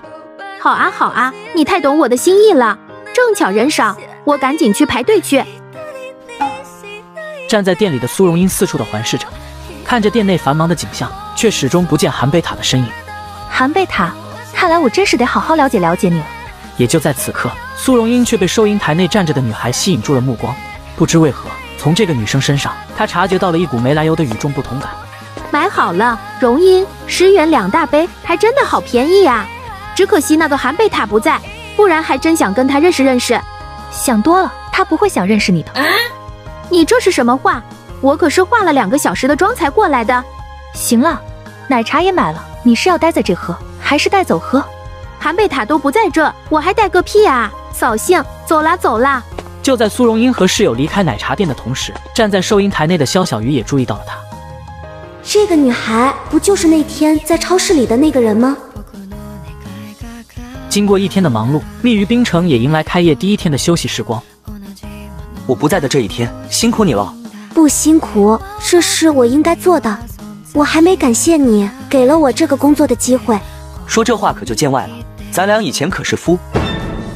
突然间，韩贝塔好像想到了什么，急忙捂住了嘴。哎，你要说什么呀？咱俩以前怎么了？没，没什么。咱俩不是一直都是好朋友吗？对了，其他人呢？你一直不回来，我就让他们提前下班了。这是今天的收银情况，请你过目。看着眼前的收款账单，韩贝塔也是吃了一惊。第一天就这么多啊？看来我一个月给你们开一千二的工资都算少的了。啊，不少不少了，这对于我们来说已经很多了。我们都还没来得及感谢你呢。韩贝塔明白，一个月一千二对于一个学生时期的贫困生来说有多么的来之不易。这样吧，如果咱们的生意一直能保持这样的话，月底我再给你们加工资。正好到那时刚好过十一，也算是给大家过个好节。真真的呀，韩贝塔同学，你真的太好了！这样好的男生，恐怕不是只有小说里才有吧？行了，时候也不早了，跟我走吧。啊，跟你去哪？还能去哪？回去给我做饭啊！我都快饿死了。啊，好的。随着蜜鱼冰城奶茶店的正式营业，肖小鱼也终于获得了一份稳定的工作。一想到自己再也不用去工地搬砖，便第一时间就把这个好消息告诉了母亲。妈，我在这边找了份兼职，老板人很好，一天能赚四十块，足够我的生活开销。妈，你以后不用再给我打钱了。对不起呀，丫头，都大学了还让你整天勤工俭学。妈。没事的，我还给奶奶买了药，明天一放假我就回去看你们。我跟你奶奶都挺好的，小鱼啊，最近你还是不要回来的好。听到母亲这般说辞，肖小鱼也是当场愣住了。妈，怎么了？是家里出什么事了吗？没事，家里都挺好的。小鱼，你吃好点，有些不该省的东西就不要省，营养得跟上。长途电话费这么贵。臭女人，快开门！别躲里面不出声。我知道你在家，妈不跟你说了，你一定要好好照顾自己，千万别回来。喂喂，妈！肖小鱼拿着手机的手缓缓垂落，抱着双腿，不停的颤动着。不对，家里一定是出事了。面对自己生活上的苦，他始终很坚强；可面对家庭上的遭遇，他却显得那样的无能为力。因为在他心里最记挂的就是自己的家人，但归根结底，她也仅仅只是个刚刚成年不久的女孩子而已。第二天清晨，一夜未眠的肖小鱼带着疲惫的身体前往工作的奶茶店。肖小鱼，肖小鱼转头看到来人竟是韩贝塔，愣着干嘛？快过来啊！哦，都已经放假了，你说好的要回老家，怎么还没回去？我我想再工作几天。肖小鱼不是不想休息。他只是想多挣点钱，帮家多分担一些而已。今天你不用上班了，上车跟我走。哎，现在我们这是要去哪？不要多问，去了你就知道了。肖小鱼犹豫了片刻，最终还是上了车。在经历了一段车程之后，韩贝塔正行驶在一条乡间小道上，而肖小鱼由于担心家里，一夜未睡。这时的他正昏昏沉沉的睡着。韩贝塔看着窗外的景色，不由得感慨着，因为在前世的记忆里，这条路他走了太多太多次。哎，怎么到了这里？醒来后的肖小鱼正瞪大着双眼，难以置信地看着周围的环境。你醒了？看你睡得这么香，我都没好打扰你。等一下，你现在走的不正是通往我家的路吗？不会这么巧吧？我在这边正好有业务要办，而且听说这边还是你老家，就顺便把你带过来了。肖小鱼同学，你不会怪我擅作主张吧？不，不会，当然不会。好了，既然来了，那就先去一趟你家吧。哎，刚好你醒了，快快给我指指路。去我家？现在这会不会耽误你啊？怎么会耽误？刚好肚子饿了，去你家吃顿饭，不会不欢迎吧？欢迎，当然欢迎了。我们一家还要谢谢你给我工作的机会呢。随后，肖小鱼便认真的为韩贝塔指引着方向。可殊不知，韩贝塔对于他家的位置早已刻骨铭心。可令他们二人都没想到的是，此时的肖小鱼家中正经历着一场风波。绝户门到底什么时候还钱？村长家的钱也敢拖这么久，不会是想赖着不给吧？求您再宽限几天，我一定想办法把欠的钱还上。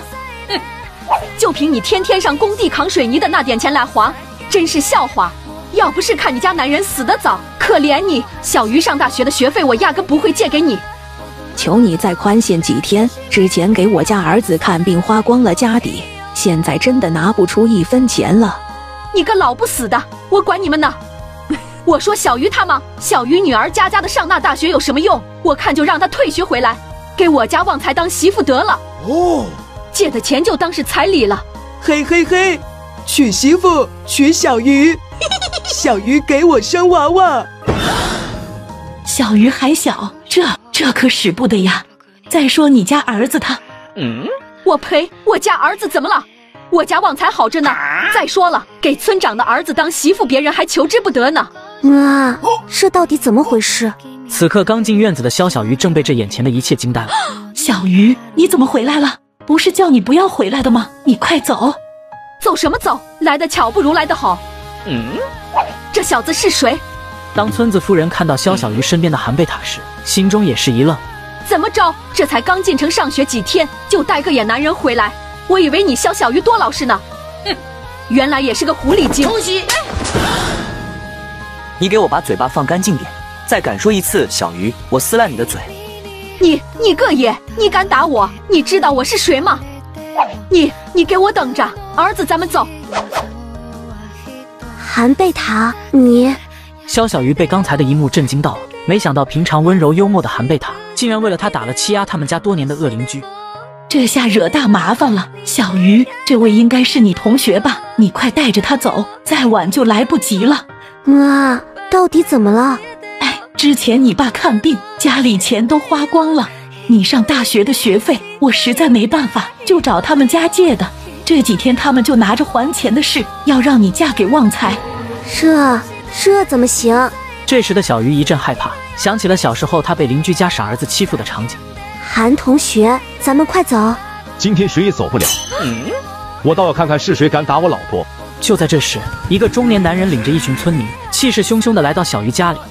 小子，你活腻歪了吧？也不看看这是什么地方，就敢来撒野！你老婆嘴巴不干净，打已经打了，你说怎么办吧？好小子够黄！乡亲们，给我干他！只见村长一声令下，村民们都群情激愤，准备上前干仗。而平时内向胆小的肖小鱼，竟然护在了韩贝塔身前。叔叔伯伯们，对不起，我替我同学道歉，求你们不要打人，都是我不好，要打就打我一个。小鱼，你放心，有我在，你们一家以后不会再受欺负。为了能让自己的傻儿子娶上媳妇，恶毒邻居竟以催债为由强行霸占肖小鱼。可就当韩贝塔赶走这对母子之后，村长居然带着一伙刁民围攻肖小鱼一家。对不起，我替我同学道歉，求你们不要伤害他。小鱼，你放心，有我在，你们一家以后不会再受欺负。哼，你小子今天非要替这一家绝户出头是吧？你再跟你老婆一样满嘴喷粪，我不介意，也给你个大逼斗。特么的，这小子够黄，给我上！都给我住手！就在韩贝塔摆好架势准备干仗时，人群身后又有人站了出来。为首的那人一看就气度不凡。哎呦，县县长，您怎么来了？我要是再晚来一会，咱们县的贵客就要被你打了。什么贵客？就是眼前的这位韩同学，他不仅是今年的高考状元，而且还是一位投资人。这次来咱们县就是考察投资的。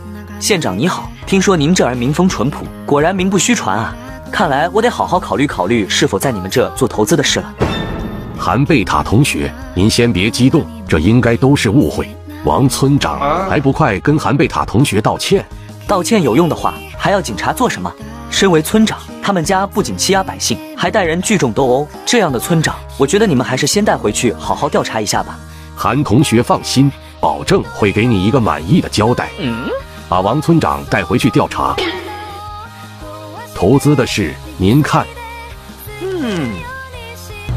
解决了肖小鱼家的麻烦后，韩贝塔便前往隔壁县进行调研。许久未见的肖小鱼母女，此刻已经湿红了眼。丫头，跟你来的那个人是谁呀？妈，那是我同学，他对我很照顾的。肖小鱼把在学校里的事情都一五一十的告诉了母亲，母亲的笑容有些凝固。她深知没有无缘无故的爱。这个所谓的老板长得好看，年少多金，还是高考状元，到底为什么对小鱼这么好？女儿在妈妈眼里就是最好的，但她还是不觉得女儿会无缘无故得到这样的人青睐。妈，我接个电话。哎，喂，现在就要走吗？今天先不走了，我想出去透透气，你出来陪我一起吧。啊，现在吗？现在已经很晚了，他怕这么晚出去，妈妈奶奶会担心自己。但犹豫了一下，还是说道：“我去哪里找你？家里等着就行。”好，我知道了。小鱼呀，这么晚了还要回去呀？妈，今天我不走，老板那里有些事情，我过去一趟。此时的小鱼母亲有些无奈的叹了口气，虽然不确定韩贝塔的目的是什么，但能为自己女儿挺身而出，应该不会胡来。闺女，你注意安全，要保护好自己。妈，我知道了。县城不大，开着车很快就到了郊外。韩贝塔在一处桥边下了车，这让肖小鱼有些害怕。贝塔同学，我们到这里干嘛？小鱼同学，这荒郊野外，四下无人，你觉得我会干嘛？当然是给你惊喜了。只见韩贝塔仰头看着天，惊疑不定的肖小鱼也学着他的样子仰头看了起来。此时漫天的繁星绚烂璀璨，哇，好美！贝塔同学，这么晚你带我来这里就是为了看星星吗？当然，不然你以为是干嘛？哦，这样啊，我已经好久没有看星星了。如果对着流星许愿真的能实现，你的愿望是什么？我的愿望啊，我希望我的家人健康幸福的生活下去。也包括韩贝塔同学你，那就许个愿吧。可是这里也没有流星啊。时间差不多了，你看那边。只见原本湛蓝安静的天空，竟然有无数的流星划过。韩同学，真的有流星啊！原来上一世的韩贝塔就知道，在这一天会有一场盛大的流星雨，他要给肖小鱼一场极致的浪漫。这么多流星，是不是能许很多个愿望？肖小鱼不可以那么贪心，许两三个就好。不知道许了几个什么愿望的肖小鱼，转头看向了身旁的韩贝塔，他笑了，这一笑仿佛叫满天繁星都黯然失色。二人就这样一起欣赏流星，时间仿佛都定格住了一般。前世韩贝塔在肖小鱼的日记上看到过这样一段话：我记得小时候，妈妈怕黑，有爸爸保护，可爸爸不在了之后，妈妈就再也没有怕黑过。妈妈告诉我，不怕的原因是因为爸爸会在暗中保护妈妈。如果妈妈不在了，希望我也能勇敢坚强的面对黑暗，因为妈妈也会在黑暗中跟爸爸一起保护我。那一页日记上泪痕密布，韩贝塔希望用这满天的流星来驱散肖小鱼对黑暗的恐惧。我舔了校花六年，她都没看我一眼。如今我已找到属于自己的宝藏女孩，校花却急眼了。苏同学，你渴不渴？要不要喝杯奶茶？喝什么奶茶？苏同学最近在减肥，别添乱。苏同学，要不要我请你吃好吃的？你俩烦不烦啊？我都说几遍了，别跟着我。被韩贝塔拒绝后的苏荣英显得很烦躁，但依然阻挡不了爱慕她的追求者在身边围绕。也就在此时，韩贝塔的汽车刚好经过，停在了不远处。这不是韩贝塔的车吗？我们到这里来干嘛呀？你饿不饿？回学校我给你做饭吧。今天给你放个假，带你去这家吃好吃的。啊，是这家吗？看着眼前装潢精致的海鲜店，肖小鱼感到了一丝胆怯。像这样的高档餐厅，他一次都没有进去过。那女孩不是奶茶店的前台吗？韩贝塔怎么会跟她在一块？烦死了！苏同学，你在看什么？是想吃海鲜了吗？吃你妹啊！别烦我。这家店可都是好东西，咱俩加加油，一定要吃回本啊！吃回本？肖小鱼一脸茫然，他从没吃过自助餐，所以对韩贝塔说的吃回本不太理解。这家店八百八十八元一位，能吃多少吃多少，所以小鱼你可要努力哦。我的妈呀，一顿饭都快赶上我一个月的工资了，快走快走！别担心，我早就提前订好了，现在可退不了了。你就放宽心吃吧。啊，又要让你破费了。来到餐厅后，平生第一次吃自助的肖小鱼显得有些局促不安。只见韩贝塔拿了一大盆海鲜堆在了餐桌上，着实把在场的人都吓了一跳。贝塔同学，自自助餐是要这么吃吗？你随意吃得开心就好。可是这也太多了吧？八百八十八一位，你可是要吃回本啊！肖小鱼的饭量，韩贝塔还是清楚的。之前为他做了整整一桌子菜，都能吃个精光，这些海鲜又算得了什么？对对，要吃回本的，我尽力。你教我怎么吃吧。先把这个壳打开。韩贝塔开始教给肖小鱼怎么吃螃蟹，还有各种稀奇食物们。肖小鱼学得很认真，知道了方法的他吃的也越来越快。来来往往的人们都被一张桌子上的战况吸引的为之侧目。这小姑娘看着这么瘦弱，怎么这么能吃？躲在角落里偷偷观察二人的苏校花此时已接近癫狂。韩贝塔竟然给除了我以外的女孩扒螃蟹吃，这是属于我的专属待遇。此时的苏荣英正打算前去质问，可随即又冷静了下来。不行，气急败坏不是我该有的样子。苏荣英要冷静。苏同学，你想吃什么？我去帮你拿。这种事轮得到你吗？我去帮你拿。你俩都给我安静点。苏校花，你怎么突然想起给我打电话了？韩贝塔最近是不是交女朋友了？大，我不知道啊。这狗东西来了浙大之后就跟失踪了一样，国庆放假都没回家，连国庆也没回家。韩贝塔，你到底在干什么？另一边，不到半小时的功夫，肖小鱼桌前螃蟹壳堆积成山，盘子更是落得老高老高。怎么样，小鱼，吃饱了吗？嗯，吃饱了。这顿饭着实有些把韩贝塔惊到了。他本来就注意到了肖小鱼的饭量应该是不小的，但没想到居然这么大。小鱼看着瘦弱，竟然是个大胃王。吃饱了，我们走吧。嗯，韩贝塔同学，我我吃回本了吗？吃回本了吗？这个问题你不应该问我。只见韩贝塔指了指一边的工作人员，从对方目瞪口呆的表情来看，答案已经显而易见了。日常吃饭的那些量，他估计最多吃个半饱，也怪不得这么久了还是这么的瘦。以后每天吃的饭菜都要加量了呀。吃过饭后来到公园的二人，此时正坐在长椅上休息。苏荣英悄咪咪的紧跟其后。今天吃了韩同学这么多东西，我可得好好努力挣钱才行。我刚刚发工资了，这些钱还给你。什么情况？怎么还有金钱交易？苏同学，你走慢点，我们跟不上了。给我闭嘴！这是什么？工资上缴，是不是有点太早了？不是，这段时间我一直吃你的饭，还给我换手机，还有开学的时候你给我买的那些。韩贝塔一双星眸目不转睛地打量着他，肖小鱼被看得深深的低下了头。我知道这些应该还不够的，不过我现在只有这么多，等下个月工资发下来，我再继续还给你。那你觉得该还给我多少才算够？我。我也不知道，但这些肯定是不够的。是不够，你下个月的工资再加起来也不够。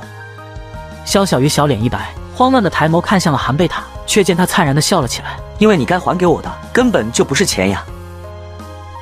走在秋意渐浓的校园里，肖小鱼的脑海中始终回荡着刚刚韩贝塔说的那些话。我该还给韩贝塔的不是钱，这是什么意思？那我应该还什么？你就是肖小鱼吧？哎。总算被我逮到了。我舔了校花六年，她都没看我一眼。如今我已找到属于自己的宝藏女孩，校花却急眼了。云松，你来找我也不提前说声。你个重色轻友的家伙，开学到现在都不知道联系我。说吧，是不是有女朋友了？你个死胖子，嗯，是哪里走漏风声了吗？看吧，我就说，苏校花昨天跟我打电话问你是不是交女朋友了。看来是我跟小鱼一起吃饭被他看到了。我们目前还是普通朋友，还没追到呢。哦，我说呢，你怎么可能改变本性？原来是换了个人舔啊！陈云松，来了江浙，我看你都瘦了。苏校花，你来了，最近吃的清淡了些，真的有瘦了吗？我敲，死胖子，苏荣英怎么也来了？怎么不欢迎我吗？苏校花到了大学依旧魅力不减，怎会不欢迎呢？你，哼。对了，胖子，你今天来找我到底啥事啊？老班长今天非要说什么搞个聚会，我知道他肯定不会通知你，所以我提前来找你。你说秦小龙，他怎么在这边？他和我在同一个学校，我一猜就知道他是想离苏校花近一点。有苏荣英跟你一道不就好了？非拉上我干嘛？怎么，兄弟，我想你了还不行？再说，班长要是知道你换人舔了，肯定高兴坏了。某些人啊，见色忘义，朝三暮四。我看人家秦小龙就很不错。哟呵。觉得他好，你去找他。干嘛搞跟踪？你，哦，秦大班长，这是发财了吗？选这么好的饭店。他听说他爸做生意赚了不少，连带着他也飘了。荣英，你来了，几个月不见，你还是这么好看。嗯，你怎么也在这？哼，怎么了？看到老同学，你有点失落啊？哦倒没那么严重，无非多双筷子的问题。只要荣英在，我就很开心。秦小龙还是一点音量都没有。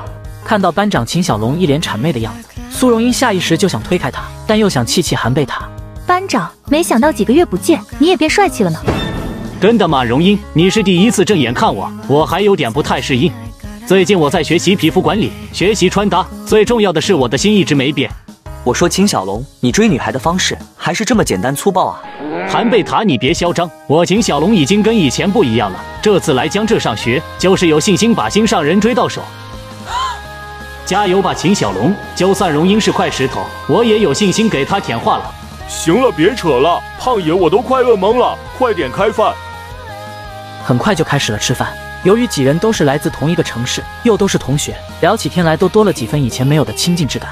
老班长，还得是你啊！这些饭菜真不错，最近来这边吃不习惯，我都瘦了。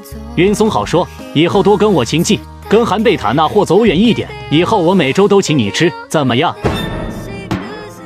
我呸！秦小龙，你把我当什么人了？这就想收买我？我不吃了还不行？别别，云松别生气，我不是一直没有女朋友，羡慕韩贝塔吗？胖子和班长这边吵吵闹闹，韩贝塔这边拿着手机联系不上小鱼，着急的很。怎么回事？小鱼一直不接我电话。韩贝塔，昨天和你一起的女孩跟你什么关系？嗯。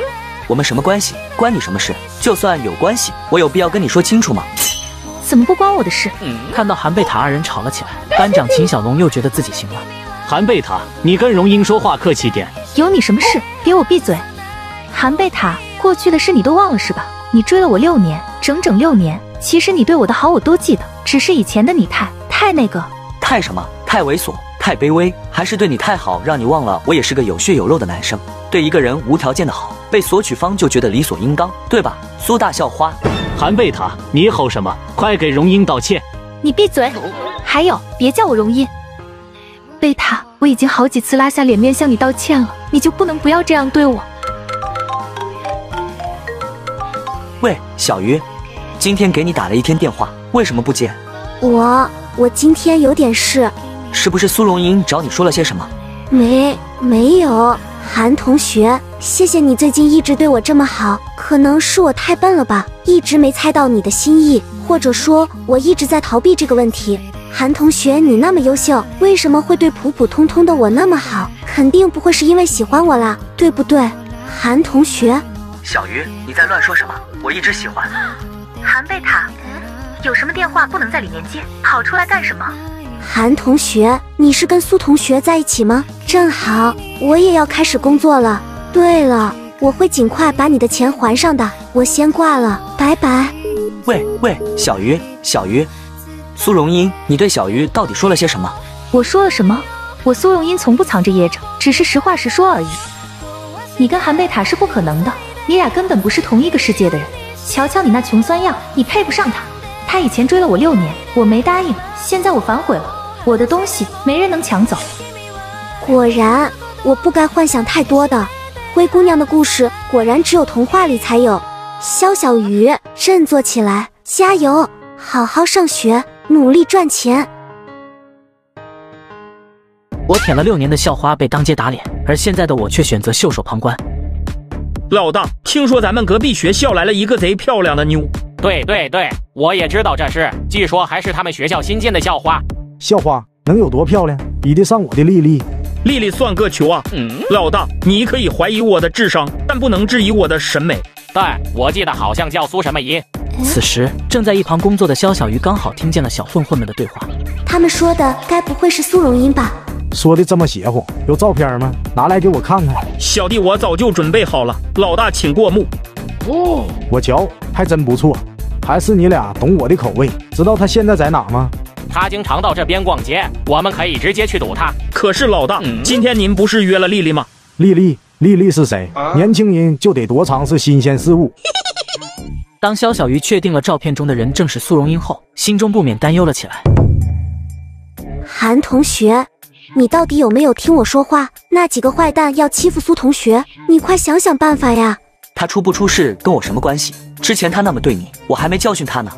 可是不管他之前对我说了什么，他现在真的有危险。嗯，哎，韩同学都火烧眉毛了，你到底在忙什么呢？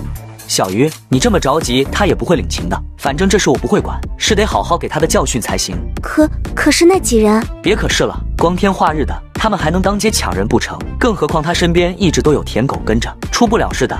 看着韩贝塔一副漠不关心的样子，肖小鱼不明白韩贝塔为什么会这样对待曾经喜欢的女孩，这也让他对这两个人之间的过去产生了好奇。苏同学真的有危险，不行，我得去帮帮苏同学。追了你十八条街，可算把你逮到了。你们是什么人？到底想干什么？干什么？孤男寡女？你说呢？大校花。我们老大想跟你探讨人生，我们在一旁协助。对了，一直跟着他的两个舔狗没跟上来吧？放心吧，老大，这个女人自己把那两只舔狗支开了，真是傻的可以呀。你们两个，今天我心情不好，就想一个人转转。你们谁先消失，我就考虑明天跟谁一起吃午饭。我先跑，你别拉我。你个狗腿子怎么这么快？来吧，妹子，跟哥走呗。滚开！我不认识你们。特么的，敬酒不吃吃罚酒。你敢打我？从小到大没人敢打我。你这种自以为是的大小姐，真以为可以为所欲为了？舔狗惯着你，老子可不惯着。谁来救救我？难道我真的错了吗？平日里众星捧月，到了这种时候却没有人能帮我。我爸是金陵首富，只要你们放了我，要什么都行。金陵首富，我爸还是麻花藤呢。今天谁来都不好使，没人救得了你。妹子乖，先跟哥哥交流一下感情。嗯。苏同学，快跑！又从哪冒出来个野丫头？还愣着干什么？赶紧追呀！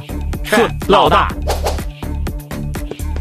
此时的苏荣英怎么也没想到，来救自己的竟会是自己情敌肖小鱼。小鱼同学，你怎么来了？苏同学，我在奶茶店听到他们说要欺负你，就赶紧过来了。你没事吧？谢谢你，肖同学，我没事。两个臭女人，我看你们往哪跑！只见前方已被一个混混拦住了去路，而在他们的身后也被另外赶来的两人堵住。完了，这下跑不掉了。你们干嘛？你你们这是违法的，知道吗？现现现在放我们走，我我我们可以不追究。追究顾不了那么多了，箭在弦上，不得不发呀。老大，这小妞长得也不错，可惜是个小结巴，不过挺好，跟我还挺般配。放心，今天他俩谁也跑不了。偷袭！老大，老大，光天化日强抢民女，你们胆子还真不小。韩贝塔，你也来了？你是来救我的吗？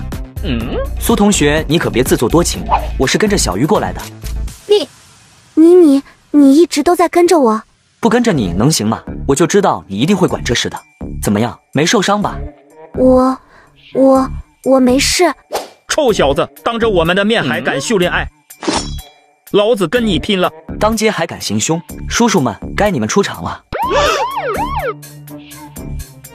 很快，作恶三兄弟被关了起来。而劫后余生的苏荣英仍旧有些后怕。肖小鱼，今天还是必须谢谢你，真没想到你会来救我。唉，你也是够傻的。不用谢的，苏同学。我觉得要是我遇到危险，你也不会不管的。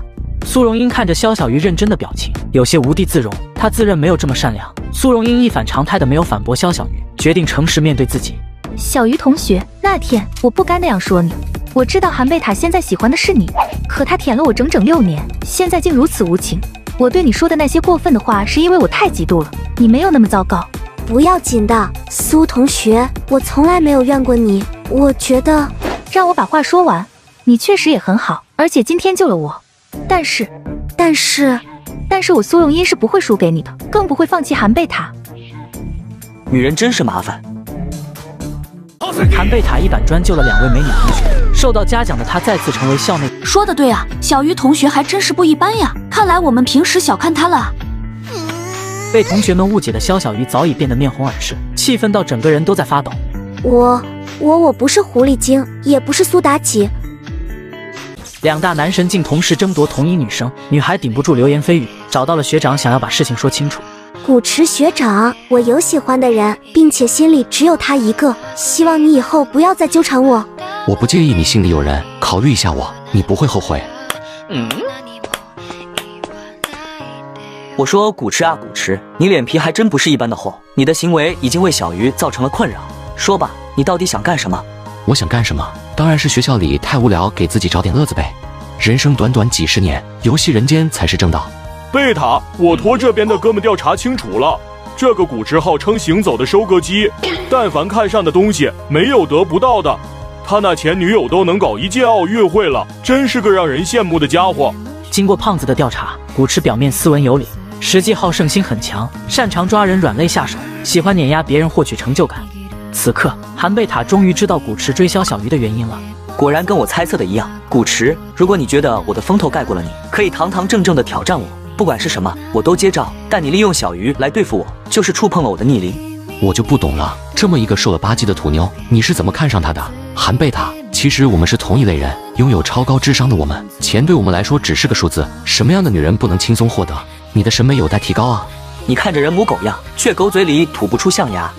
小鱼，你喜欢他也没用，因为你只会拖后腿，甚至害了他。你跟韩贝塔原本的格局相差太多，他要向下兼容你，可你能帮助他什么？你一无所有，你只能索取，对他没有实际的付出。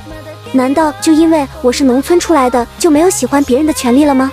韩贝塔对我始终如一，从来没有瞧不起我，也不觉得我拖后腿，也没想过要我回报什么。我会努力变得更好，让自己配得上他。古驰有点意外，肖小鱼居然敢反驳自己，这也让古驰更有兴趣玩弄两人。他借着肖小鱼的愤怒，继续刺激韩贝塔。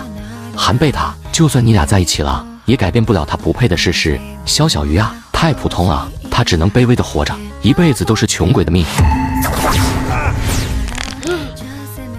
韩贝塔，别冲动。我就说了几句，这土妞，你特么就要跟我玩命啊？之前一直风轻云淡、漫不经心的古驰，此时也慌了。特么的，还敢说小鱼？大哥，我错了，我只是想想给你开个玩笑而已，你不用这么认真吧？你跟我道歉，难道不是该给小鱼道歉吗？小鱼姐，我错了，我不该戏弄你，快让韩哥把我放我下来吧。我觉得他好，他就是好。对我来说，肖小鱼就是美好本身，美好的事情都跟他有关。小鱼，你的人生不需要他人来定义。贝塔。你的心意我早就明白，咱们的事待会再说。你快放下他，让这么个渣子毁了你的人生，不值得。你听到没？快放我下来，我恐高。小鱼，你也太小看我了，我就是想吓吓他而已，没想到真是个软蛋。我奉劝你，做人嘛，专一一点，不然因果报应，到时你后悔莫及。韩贝塔，我记住你了，咱们后会有期。学长走好，我们就不送了。舞池灰溜溜走后，只剩下韩贝塔和肖小鱼二人的天台也归于平静，天色也渐渐黑了下来。此时的气氛略显尴尬，肖小鱼率先打破沉默：“韩贝塔同学，咱们也走吧，去竹林小院，我给你做饭吃。”“不急不急，再等会。”“哎，韩同学怎么了？是还有什么事吗？”就在此时，韩贝塔的手机响了起来：“兄弟，都准备好了。”好兄弟，关键时刻你从不掉链子，等会你见机行事。韩同学，哎，韩贝塔来到小鱼身边，他第一次这么紧张，不知道该如何开口。鼓足勇气后，他抬头却发现小鱼羞涩且坚定地望着韩贝塔的双眼。小鱼，我喜欢你，我告白不是为了占有你，只想你知道，在你不开心、不如意的时候，我始终在你身后。如果你答应跟我在一起，我不会用爱的名义束缚你，你可以做你任何想做的事情。肖小鱼彻底愣住，韩贝塔过往的努力，还有暗中的持续付出，像走马灯一样在小鱼脑海中浮现。可随之而来的是失落。小鱼没有实力像韩贝塔那样付出，这对韩贝塔并不公平。现在的我一无所有，能给他什么呢？我也想要为他付出啊，买他喜欢的东西，看他高兴的表情。可我连基本生活都要拼尽全力，拿什么去爱啊？贝塔，请给我一点时间，我会很努力让自己变得更好，能配得上你。等那天出现，我会勇敢对你说出我的心意，换我对你表白。韩贝塔猜中了肖小鱼的心思，他知道小鱼的自卑，也知道小鱼的自尊自爱。小鱼对无法回馈的感情会紧张无措，所以韩贝塔没有要小鱼立刻回应，他自然的抱住了小鱼。小鱼没有抗拒，此刻的沉默是俩人无声的契约。天空骤然亮起，韩贝塔跟肖小鱼一起抬头，正好看到烟火绽放的那一刻。夜空实在太美，二人舍不得移开眼睛。小鱼，记住我今天的告白，时效期是永久，只要你愿意，我随时都在。你一回头就会看到我站在你身后，这是我的承诺，绝不反悔。烟花再次大面积绽放，这一刻的承诺仿佛被映射在了天空中，如此绚烂美好。胖子站在烟花发射器的角落，被烟呛得够呛。美好只属于眼前拥抱的二人，胖子一个人受伤的世界达成了。校花怕我舔的没他快，竟联合我妈帮他一块舔。可我刚和宝藏女孩告了白，校花得知瞬间急眼了。你听说了吗？咱们学校那个高考状元好像谈恋爱了。我知道，我知道，好像跟他们班那个叫肖小鱼的交往了。昨晚那场烟花就是他表白放的。哪尼？苏同学，你怎么了？对啊，苏同学，你要是不开心就说出来，我们会把你哄高兴的。你们滚啊！说了多少次了，别跟着我。突如其来的噩耗让苏荣英措手不及。回到宿舍后，她赶紧给韩妈妈打了通电话。阿姨，出大事了！小英怎么？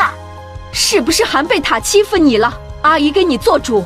听到校花那边没有说话，一直的哭，韩母心绪有些复杂。这小子什么时候这么有出息了？追了荣音六年，之前都不正眼瞧他一眼，这到了大学就给拿下了。小英啊，别怕，有阿姨给你做主。实在不行，我跟你叔叔去趟你家，咱先把事定下来。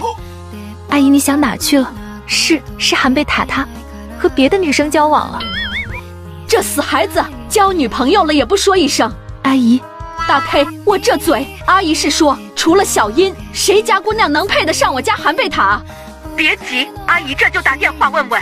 谢谢阿姨。得到韩母支持的苏荣英心中安稳了许多，随后又给韩贝塔死党胖子打了个电话，而另一边的肖小鱼却正在洗袜子。这袜子是男士的吧？小姨，老实交代，你是不是交男朋友了？对啊，小鱼，作为我们寝室第一个脱单的美少女，你可得请我们好好吃一顿才行。才才没有呢，我只是想帮韩同学做点力所能及的事。我这么笨，韩同学都还喜欢我，我也必须拼尽全力好好对待他呀。韩同学是韩贝塔吗？没想到高考状元都被你拿下了，可以呀，小鱼。没错，什么时候也给姐妹我介绍几个小哥哥呗？韩同学那么优秀，他的朋友应该也不会比他差吧？对呀，韩贝塔的好朋友好像还没有女朋友。闺蜜的话让肖小鱼想到了胖子，正要开口时，一旁的手机却响了起来。小鱼，你快下来，我到你们楼下了。好，韩同学你等等，我马上就下来。嗯，妈，昨天不是刚打过电话，今天又怎么了？你这臭小子是不是又惹小英生气了？他电话都打到我这里来了。我可跟你说，小英这孩子，我跟你爸从小看着长大的，知根知底。你小时候不也说长大要娶她当媳妇吗？你之后要是再欺负小英，我非得好好收拾你不可。还有你那什么女朋友？喂喂喂，妈，你说什么？这边信号不太好，等会我再回过去。韩贝塔深深的明白，自己的母上大人一旦念起来，可就唠叨个没完，便赶紧终止了这通电话。韩同学，我们这是到哪去啊？别说话，到了你就知道了。抱紧我。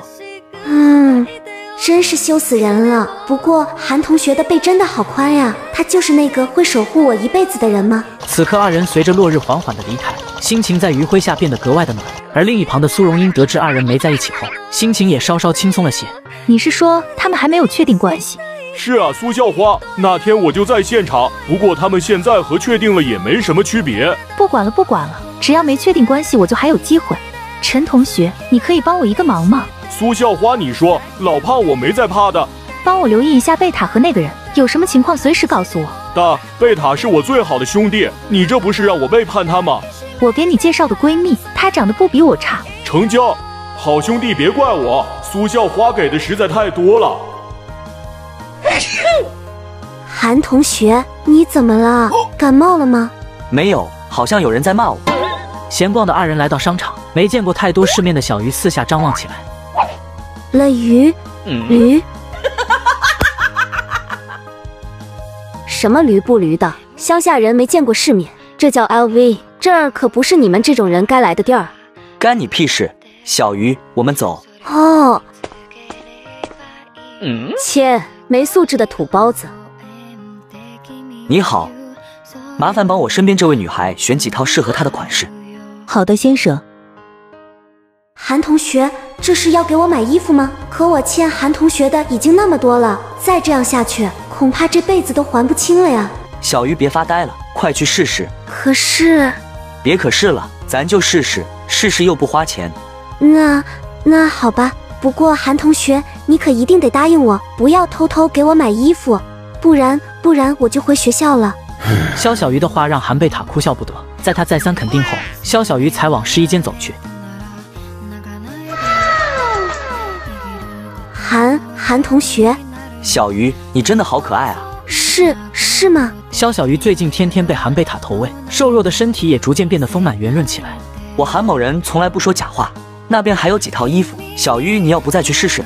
还是不要了吧，这里的衣服都很好看，可我穿起来总感觉有点怪怪的。怪吗？怪就对了，乡下人就应该穿乡下的衣服，到这奢侈品店来干嘛？你买得起吗？韩贝塔扭头，发现之前那个没素质的女人走了过来。往上数三代，谁家祖上还不是个农民了？你这么说，就是看不起你爷爷、你曾祖，甚至你高祖老母了。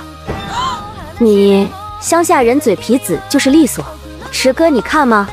谁呀？连我的女人都敢骂？靠！怎么是韩贝塔？这不是古池吗？忘记上次你尿裤子了，是还想再体验一次？池哥，他这话啥意思？没，没什么，不好意思认错人了。我妈叫我回家吃饭，我先走了。古池来得快，逃得更快，剩下他的女人留在原地独自悲伤。韩同学，那个古池的女朋友好可怜啊！可怜人必有可恨之处，他能跟古池这种人在一块，也是自找的吧？本来今天打算送小鱼几套衣服的，可小鱼竟然打死都不收，我早该想到的。韩贝塔担心肖小鱼的兴致被打扰，随后带他逛了一会儿，便回学校了。韩同学，我今天很高兴，谢谢你。哪有？本来我是想想什么呀？小鱼，怎么了？没什么。我妈觉醒了月老体质，早早就给我定下了娃娃亲。可我已找到了自己的宝藏女孩，并在灿烂的烟花下向她告了白。尊敬的韩贝塔先生，您是否愿意让肖小鱼女士成为你的妻子？无论疾病还是健康，你都会毫无保留的爱她，守护她，直到永远。我愿意。美丽的小小鱼女士，您是否愿意让韩贝塔先生成为你的丈夫？无论贫穷或是富有，你都会坚定不移的爱他，忠诚他，直到永远。我愿，我愿意，愿意什么呀？哎，小鱼，你不会是在做什么奇奇怪怪的梦吧？哪有哪有，别瞎说呀！我这是梦到和韩同学结婚了。你就别发呆了，上课就要迟到了，快走。好。亲爱的母上大人。今天您打电话又有什么事呢？你这臭小子上大学了，翅膀硬了，怎么非得有事才能联系你是吧？你眼里还有我这个妈妈？我错了，我错了，妈，我这儿快上课了，有什么事您赶紧说吧。我和你爸今天就飞到你那边，一会我们就登机，记得麻溜的来接我们。好了，就这样。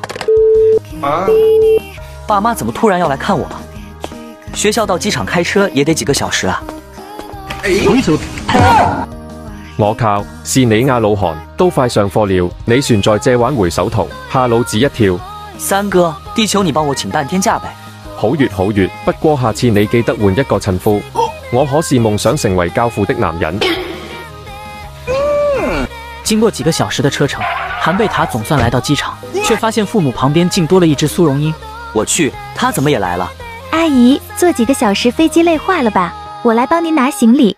不用不用，阿姨不累。小英还是这么乖巧懂事。嗯，愣着干什么？还不过来帮忙拿行李？哦，知道了，妈。臭小子，你这车哪来的？我可跟你说，违法的事可不能做。我和你爸过了大半辈子，还没犯过什么错，你别让我们晚节不保啊！妈，你想哪去了？这是我自己挣的钱，绝对合法。阿姨，他不光买了车，还有一家奶茶店呢。奶茶店，老韩听到没？咱们儿子出息了。这算哪门子出息？咱儿子堂堂高考状元，区区一个奶茶店算得了什么？夫人眼尖。行啊，老韩，说我头发长见识短是吧？怎么可能？老婆永远是最棒的。老爸老妈开启日常斗嘴模式，一旁的韩贝塔早就习以为常。这时他电话响了起来。韩同学，我看你都没来上课，中午还回来吃吗？我做了你最爱吃的几道菜。今天有点事就不回去了。小鱼，你慢慢吃，晚点我给你打电话。好。不知道韩同学到底得什么时候才能回来啊？肖小鱼已经不记得是今天的第几次想起对方了。在得知韩贝塔不回来的那一刻，他感觉自己瞬间就没了胃口。而另一边的韩妈正在跟韩爸使着眼色。老头子，你说这小鱼是谁呀、会不会是老婆说是谁，他就是谁。死老头？跟你说正事呢。老婆呀，孩子也大了，他的事咱们尽量少管。你这什么话？再大也是我的好大儿，该管还得管。二老的恩爱互动却无法让苏荣英感同身受。一旁的她在韩贝塔接到电话的那刻起，身体就止不住的颤抖起来。她委屈巴巴了几个小时，车才终于停在了竹林小院。苏荣英，你到底打的什么算盘？我爸妈是不是你招来的？是又怎么样？你敢做，我还不能跟阿姨说了。我到底做啥了？莫名其妙。你快走吧，我还有别的事。你一个大学生能有什么事？是想去找小鱼吧？不准走！苏荣英一见到韩贝塔就控制不住自己的情绪，可随后他又反应过来，此刻的韩贝塔早已不是那个舔了他六年的人了。对，对不起，贝塔，只是从同学聚会后我就再也没有见过你，我想你了，你就理理我好不好？真没想到你还有这一面。不过你早干嘛去了？老婆，这俩人又吵架了，你怎么看？看你个大头鬼！小孩子的事让他们自己解决，不如趁这个时候，我们偷偷去看看这好大儿的奶茶店。好主意，咱们走。此时的奶茶店已经下班，小鱼刚刚把店里卫生都打扫了一遍。韩同学忙了一天，不知道吃晚饭了没？抓紧回去给他做饭吧。你好，哎，不，不好意思，请问客人需要什么呢？哦哟，好俊俏的闺女。肖小鱼的容貌惊到了韩妈，而韩爸仿佛感受到了对方的脑电波，也连连点头表示肯定。我嘛就过来看看，什么也不需要。看看，对，看看。闺女，你叫什么名字？这么晚了怎么还不回家？阿姨，我叫肖肖小鱼，我刚把店里打扫干净，正准备走呢。好名字呀，闺女。我们是韩贝塔的父母，你和他是什么关系呀？您就是韩同学的母亲呀？我们是同同学关系。还有呢？还有。肖小鱼不知道怎么回答，支支吾吾说不出来。我说老婆，你倒是教训我呢？行了，闺女，你先回去吧，这么晚了，女孩子一个人也不安全。好，那叔叔阿姨再见。肖小鱼逃跑似的离开了奶茶店，只剩下的韩爸韩妈大眼瞪小眼。这闺女也太憨厚了，你问什么她就说什么。对，你说她会不会就是你儿子口中的小鱼？很有可能。老韩，你儿子上了大学，别的没学到，脚踩两只船，真是玩的溜熟。嗯，老韩，你怎么回事？你不给点反应，我怎么说下去？对对对，老婆大人说的对呀，这混小子都下班了，人家还给他打扫卫生，实在是太过分了。就是啊，你儿子聊谁不好，偏要聊这样的姑娘。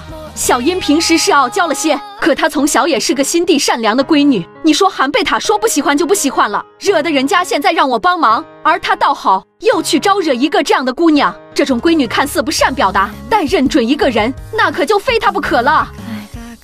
要是韩贝塔辜负了她，闹出什么意外可怎么办啊？老婆，你说的对呀，两个女孩都是好姑娘，跟谁不知道似的。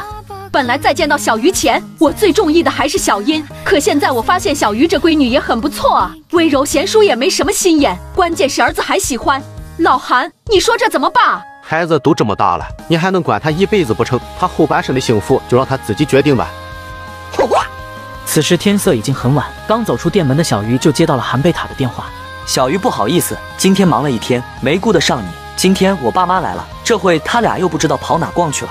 刚刚才我见到叔叔阿姨了，他们去奶茶店了吗？小鱼，我妈她心直口快，说话容易得罪人，但是没有坏心思。她说了什么，你别放在心上。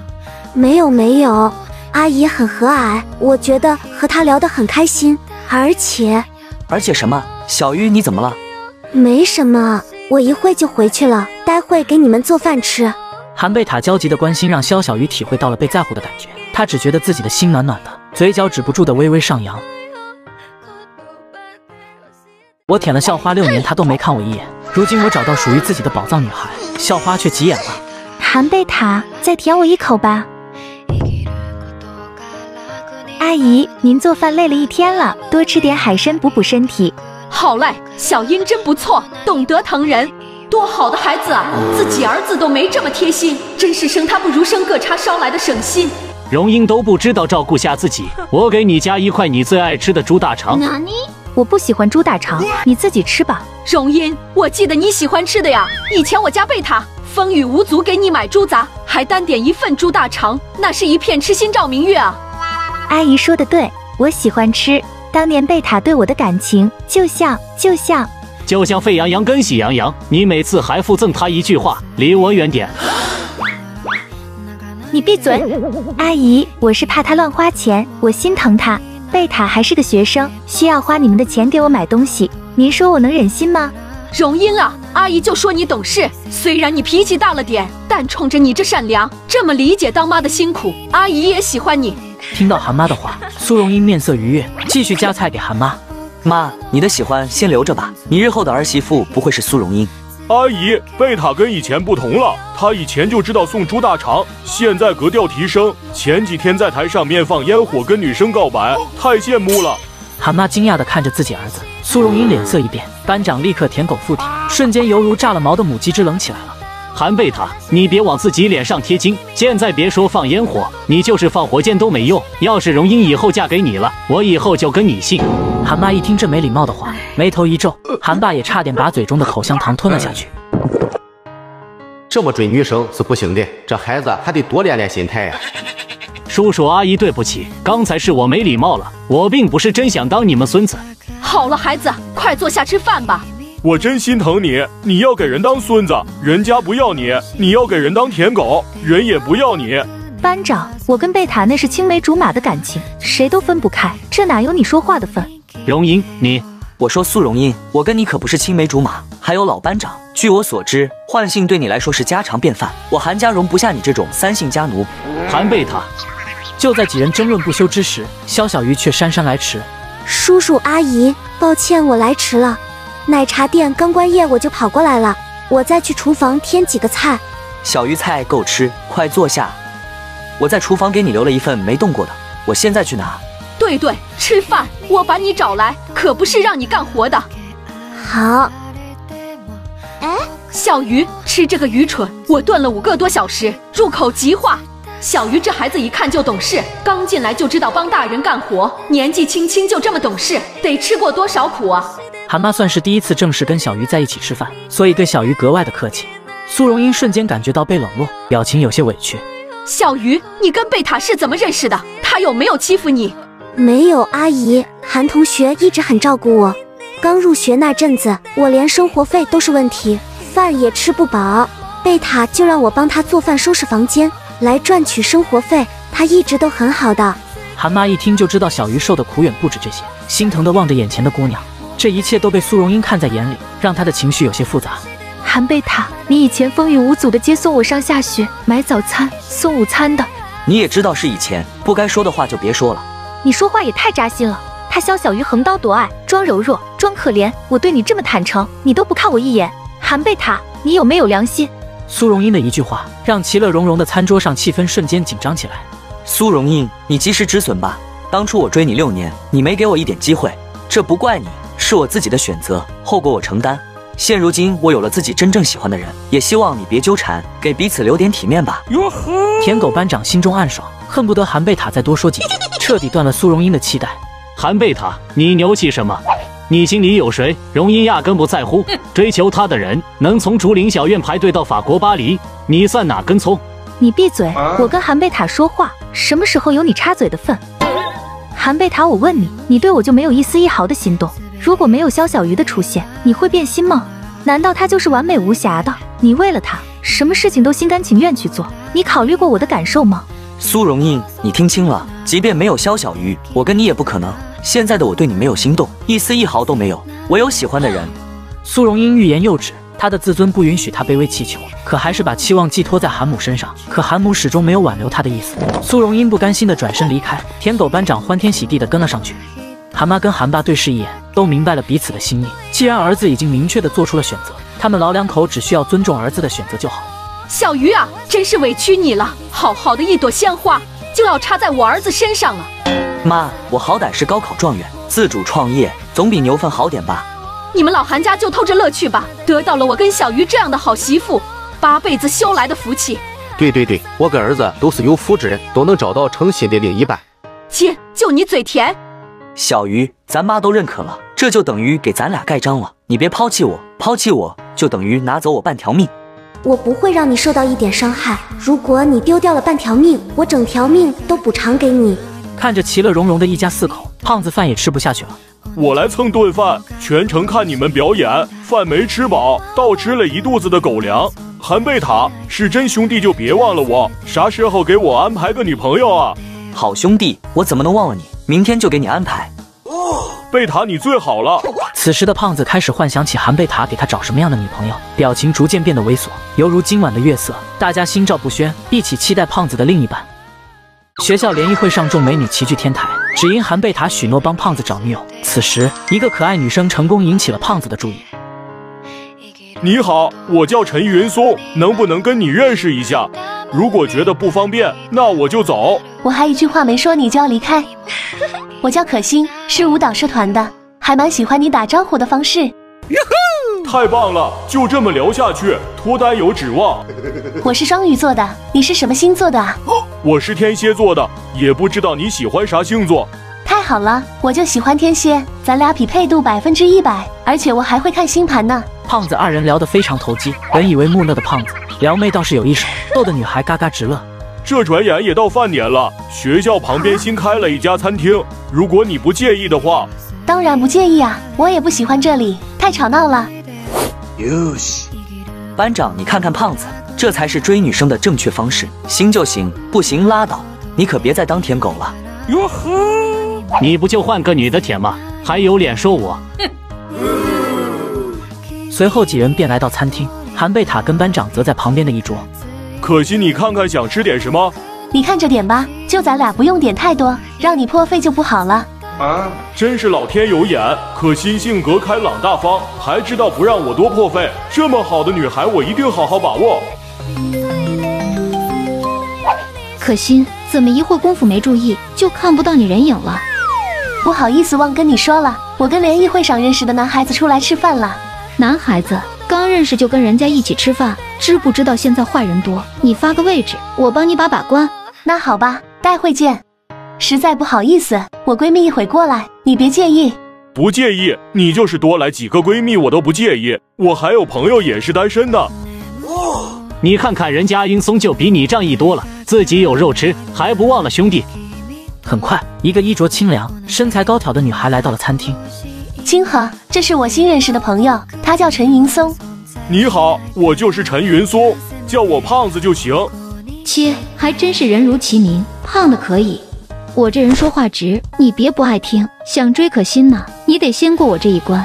嗯，可心的朋友就是我的朋友，我一定照顾好你俩。胖子感觉清河不是个省油的灯，为了缓和气氛，把菜单递给了他。看有什么想吃的，你随便点。那我就不客气了。这家餐厅看着很普通，也花不了你几个钱。随后，清河叫来了服务员，点了一堆菜。服务员表示菜太多了，怕吃不了。清河却直接把菜单甩服务员身上，看得胖子直皱眉头。这服务员话可真多，把那燕窝先端上来三盏，我先吃燕窝。你别太过分了，大家随便吃点，你点这么多干嘛？我故意考验他，要是连这点小钱都心疼，那这胖子可不能跟呐。胖子，我问你，在本市有房有车吗？卧槽！上来就出杀招！胖子一愣，抬头望向可心，可心这时却低头不看他，当没听到清河对胖子的刁难。我在本市没房没车，毕业之后会去挣，只要是我喜欢的女孩，我有什么就给她什么。哼，那你什么都没有呗？可心，你就是太心软。穷男人总是诡计多端，女孩就要被娇惯、被捧着。男人真爱你的表现，就是哐哐给你花钱。真是防火防盗防闺蜜啊！本来俩人聊得挺好，闺蜜出现就要黄了。还以为胖子能吃到肉，我也能跟着喝口汤，结果又是一场空啊！胖子，别说我没提醒你，追女生的放低你自己，要学会宠着女生。谈恋爱是双向奔赴，我全心投入喜欢一个人的话，就只对他一个人好，绝不让他受委屈。切，这些都是屁话。男生不给女人花钱，就一定是不爱她。清河，你如果想找 ATM 机谈恋爱，我建议你去找银行。我拿五百块出来给女孩子买礼物，女孩会说我抠门；但如果我拿五百请兄弟吃饭泡脚，那他们会尊称我一句义父。对，义父说的没错。没钱还学别人谈女朋友，也不撒泡尿照照镜子。我态度很明确，我爱上了就认准他一人，双向奔赴的爱情才有意义。双向奔赴，就你胖成这德行，谁愿意跟你奔赴啊？可心，跟这种没钱没颜的没什么好谈的，咱们走。可心坐在椅子上没有动，他终于抬头看着胖子，那里面有认同也有纠结。可心，你选这个穷鬼还是选我？我做这些可都是为了你好。陈云松，我觉得清河说的对，咱俩终究不是一路人。咱俩没缘，我祝福你找到爱你、呵护你的人。清河瞪了胖子一眼，直接就要走出餐厅，猛然抬头，随后盯着韩贝塔的方向，不肯移动半步。完了，韩贝塔，你的孽缘来了。你就是韩贝塔吧？这届高考状元，我经常看你开豪车出现在校门口，有没有机会认识一下？别浪费精力了，你不是我喜欢的那一款。切，不就是有两个臭钱吗？有什么了不起的？可心，咱们走。慢着，怎么，你回心转意倒是挺快。来，加我吧。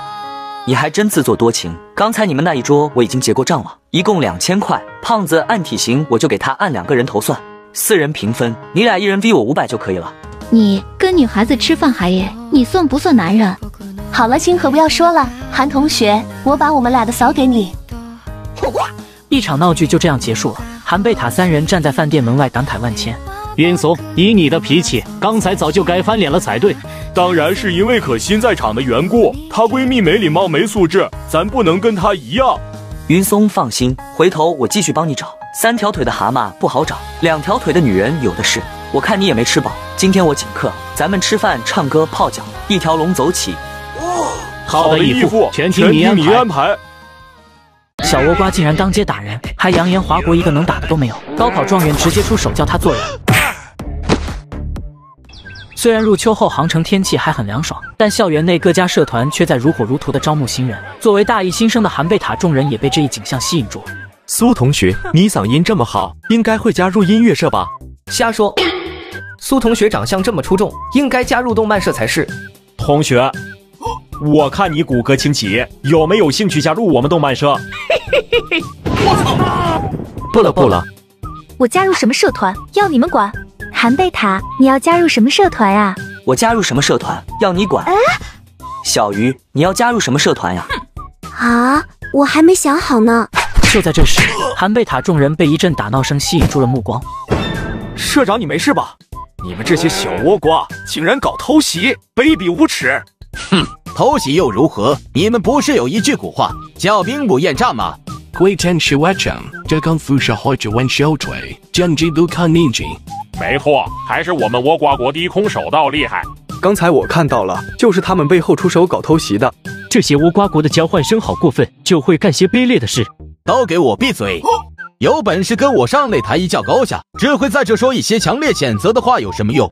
围观群众都是普通学生，不会功夫，虽然愤怒，但也没人出来应战。看到此景的小倭瓜们气焰更加嚣张。废物，都是废物，一个能打的都没有。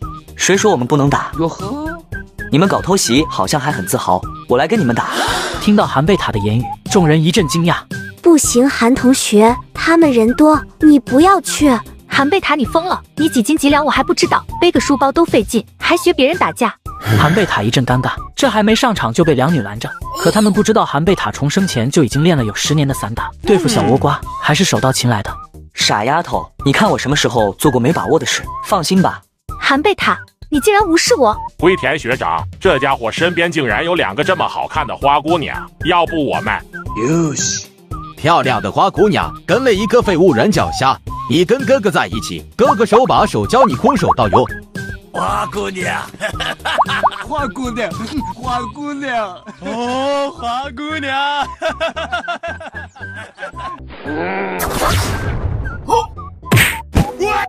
要打就打，再废话一句，老子废了你！龟田学长，大哥，baby 的混蛋竟然搞偷袭！彼此彼此，都是跟你们学的。你们别动，来老黄，果然，咱们上擂台，我看你有没有真功夫。怕你不成，走！韩贝塔紧握拳头，火气蹭蹭往上窜。小鱼心里着急担忧，眼看劝不住韩贝塔了。贝塔一定要赢啊，千万别受伤。很快，高考状元韩贝塔跟倭瓜交换生比武的消息传到了领导那里。我们要不要干预一下此事？毕竟闹大了，影响不好。干预个屁！这些交换生整日惹是生非，经常欺负咱们本土学生，我早就看不惯了。我也是这么想的，可韩同学能是对手吗？我怕他万一有什么闪失，可怎么办？放心吧，这小子我了解，滑头的很，不会做没把握的事。你带人去盯着，万一韩同学有不敌的状况，就让保安队上去干预。好的，收到。听说你是高考状元，打死打残，我可概不负责。哪来这么多废话？上吧，小子，我来了。竟然能接下我这一击，你果然练过。切小倭瓜有点东西，但是不多，这次该我了。人呢？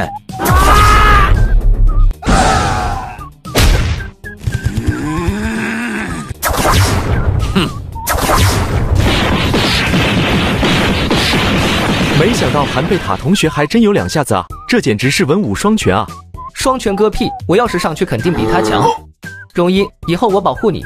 你闭嘴啊！刚才小倭瓜欺负咱们同学，你怎么不说话？这会装什么大头蒜？滚一边去！哼！一旁的肖小鱼满脸写着担心，不知道韩贝塔能不能打得过小倭瓜，只能在心中默默祈祷他不要出事。而校保安队也来到了现场，随时准备出手。都给我打起精神来！一会看我眼神，见机行事。主任，我想就没这个必要了吧？你快看，嗯，这么这么快就结束了？小倭瓜还狂吗？你服不服？没想到这小子还真有功夫，而且还是全国状元。这种人才必须要给他扼杀在摇篮里，不然对我们倭瓜国威胁很大。我服了，我服了，华国人真强。以后在我们华国要学会夹着尾巴做人，听到没？听到了。米汉飞机啊？哪里？上当了，忍受不祥之人。只见小倭瓜在身上不明位置掏出了一把有味道的匕首，身子一跃，小子，感受下我们家族忍受的威力吧！只见小倭瓜恶狠狠地从高处向韩贝塔冲下来，却直接被他掐住了脖子，不祥之刃也掉在了地上，场面一度陷入尴尬。不是吧？如此大有味道的一击就这么轻描淡写化解了？切！要是我上，我也行。你行你奶奶个腿！一边玩去！刚才吓死我了。韩贝塔没事就好，这应该结束了吧？大哥，快松手，我不能呼吸了。哼，果然非我族类，其心必异。这一巴掌是打你在我华国横行霸道。笨蛋，你敢打我脸？这一巴掌是打你对小鱼言语轻薄。这在我们倭国很正常，说你人的不过分啊。这一巴掌打你们乱排和污水，导致海洋污染，我以后再也吃不上最爱的大龙虾了。你可以吃河里的小龙虾吗？我吃你！龟田学长。只见场外的其他三只倭瓜纷纷掏出祖传的不祥之刃，准备对韩贝塔出手。同学们，这几个倭瓜要炸毛，咱们上！几个看台上的男同学直接跳入场内，三个小倭瓜瞬间被人群淹没。等待几人的自然是一顿友好问候。主任，你看这怎么办？什么怎么办？再打，再等五分钟。韩贝塔，韩贝塔，你知不知道惹了多大的祸？就算我都很难保住你。嗯，不是吧，校长，这几个小倭瓜实在太过分，难道学校不该表彰我吗？臭小子，竟然没吓住你！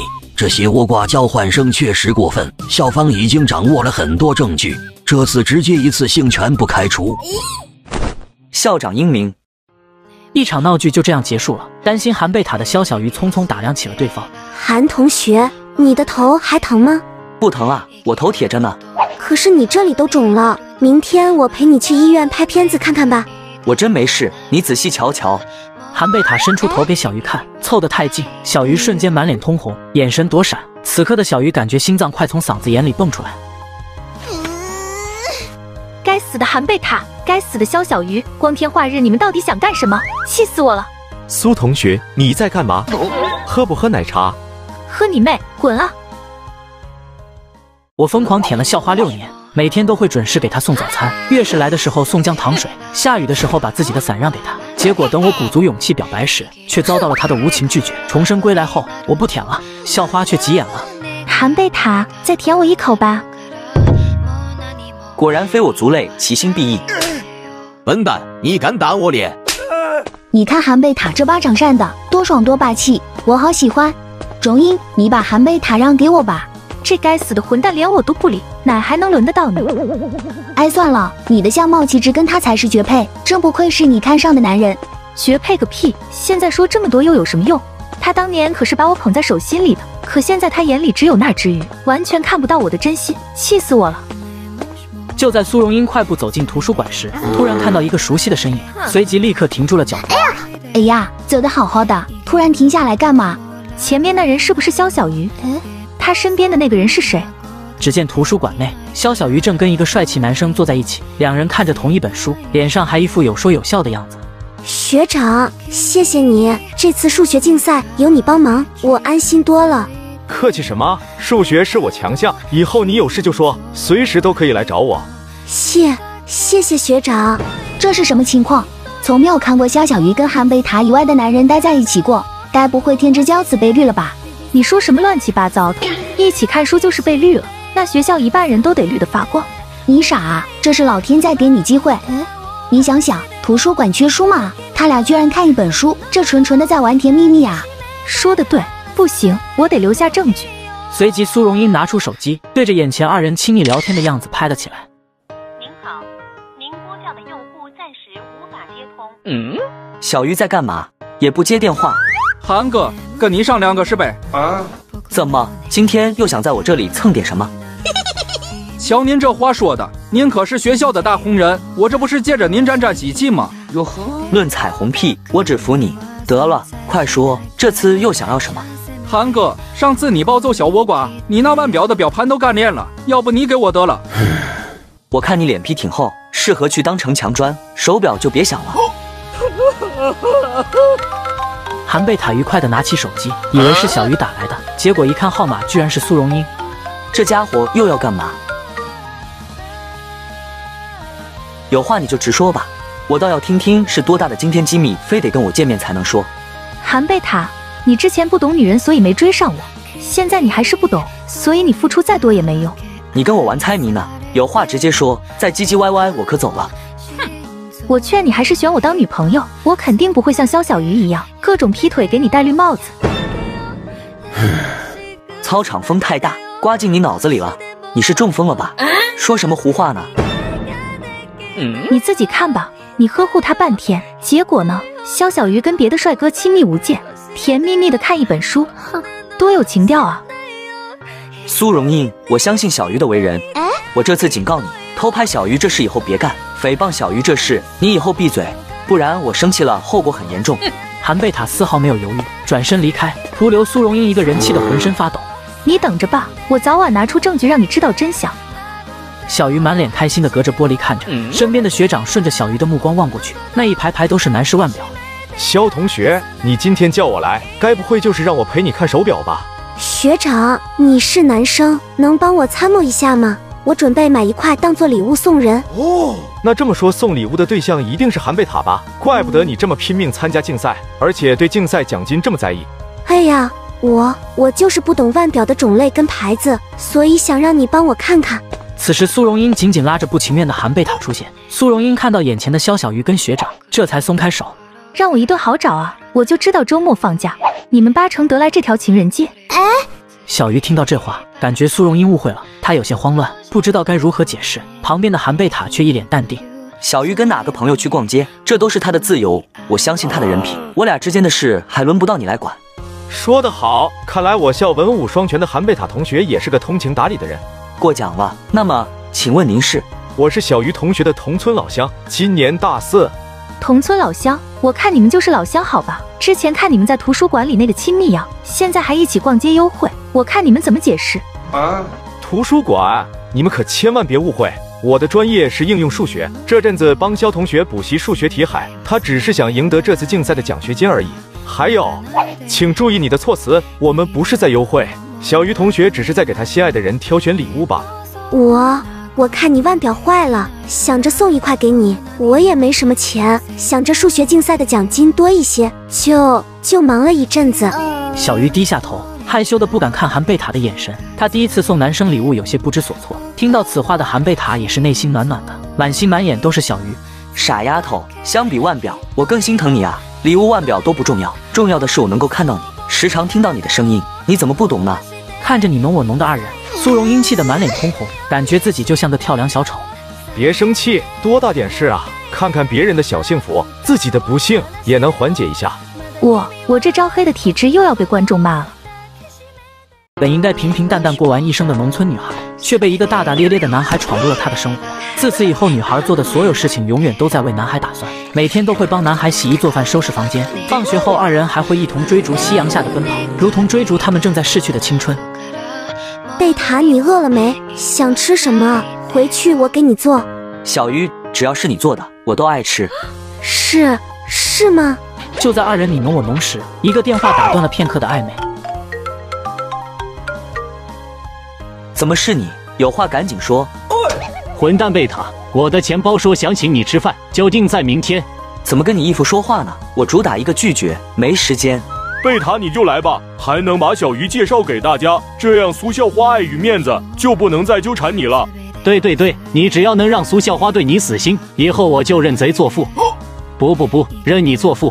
说的好像苏荣英不喜欢我了，就会转头喜欢他一样。行吧，让小鱼早点融入我的圈子也是好事，那就这么定了。义父一定要带上我义母啊！小鱼，你都听见了吧？他们都希望我带着你去。可可是我不是你高中同学，带我去不太好吧？还有，我要不要给他们买点礼物呢？你能去就是给他们面子，不用带礼物的。那那好吧，都听你的。这就对了，真乖。韩贝塔的动作让肖小鱼羞红了脸，他手足无措的样子让韩贝塔更怜爱。就在这时，电话又一次不合时宜的响起。这次又是谁啊？真讨厌！你个兔崽子！我要过生日了，你连个电话都没有。哎呀，我的亲妈，前天不是刚通过电话？小鱼刚才还说给你挑生日礼物呢，还算你有良心。不过你让小鱼不用送了，带来给我见见我就满足了。好的妈，我这有正事呢，先挂了，晚点再打给你。臭小子，一个学生能有什么正事？第二天的天气格外清爽舒适，和韩贝塔一起来杭城上大学的同学们都陆续来到了餐厅。班长依旧像只苍蝇一样围着苏荣英转悠。我说老班长，这都从老家来杭城了，你怎么还跟以前一样没出息？就是就是，我听说韩贝塔都已经是高冷男神了，你却还是老样子。嗯，你们懂什么？我这叫保持初心。哼，抱歉同学们，我迟到了。我来介绍一下，这是我喜欢的女孩肖小鱼。小鱼做梦都没想到。韩贝塔竟然在老同学面前这样介绍自己，顿时心中小鹿乱撞，微微颤抖的声音透露出他的紧张。大家，大家好。哦，你你好，快快坐下聊。之前除了班长跟胖子，其他高中同学都是第一次见小鱼。随后暗中对比，肖小鱼跟苏荣英是两种风格，虽然都漂亮，但是肖小鱼那温婉娴静的气质也很吸引人。贝塔，你考虑过我们这群单身狗的感受吗？竟然当众宣布心爱的女孩，我老胖到现在还单着呢。老韩，快交代，你是在哪骗到这么漂亮的女生的？就是就是，给兄弟也介绍个女朋友呀。这几个家伙还说班长，自己不也一样没出息？看来咱班状元这是要昭告天下，已经认定真爱了。这些话听到苏荣英耳中，极其扎心，她早就忍耐不住，怒气十足的质问韩贝塔。韩贝塔，你要是喜欢这条鱼，为什么跟我考一所学校？嗯，苏同学，我不需要跟你解释理由。你为了我拒绝清北，狂追我六年，现在对我这么绝情，你是中邪了吗？你就当我中邪了吧。唉，我一直很想做一件事。苏荣英心中燃起了希望，她听出韩贝塔的温柔，她好久都没这么柔声细语的对自己说话。她满心欢喜的望着韩贝塔，可下一秒，韩贝塔牵起小鱼的手。随后扭转手部位置，亲吻在了自己的手背上。大家都被这一幕震惊了。韩贝塔既然表达了自己的爱意，又没真亲到小鱼，给他留下了余地。贝贝塔，你小鱼，我朝你走九十九步，原地等你朝我走来最后一步。我不勉强你，选择权一直在你手中。他越来越优秀，我拼尽全力也始终追不上。这样的我只能消耗他的付出。贝塔。我能给你的远远比不上你给我的，这样的我，我实在是……肖小鱼默默低下头，那其中有愧疚，也有舍不得，还有努力过后的无助，种种情绪混杂在一起。下一秒，却听到韩贝塔在他耳边轻声说：“我懂你，我等你努力，等你过了自己那一关，朝我迈出最后一步。”众人看着二人亲密的样子，纷纷叫好。班长哭得鼻涕眼泪齐飞，太感动了，义父，以后你就是我的神。韩贝塔，记住今天吧，你一定后悔，到时候耶稣都救不了你。我说的。荣英，你怎么了？等等我。席间，大家吃得开心，玩得快乐。除了苏荣英跟班长提前离场外，这场聚会非常完美。每次送你回来，都希望学校的路能长一点。你别那么快回寝室。贝塔，你你早点回去吧，咱们明天见。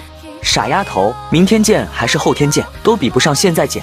我我怕晚上风大，你会冷。快考试了，你生病就不好了。考试是我强项，不复习也能考得很好。就是很可惜啊，有一件事我可能不太会。什么事啊？还有你不会的吗？我不会离开你这件事。哎，贝塔，我我不想成为你的负担，我会努力到最后，那时候换我来保护你。肖小鱼羞涩地望着韩贝塔，说完这些话，立刻低头快速转身离开。韩贝塔目送小鱼安全进入大楼，心里感觉暖暖的。他是校园小说中最深情的舔狗，攒了半个月的生活费，只为请校花吃一顿西餐，而女孩却嫌他烦，直接把他拉黑。看着大大的红色感叹号，男孩不知道到底做错了什么。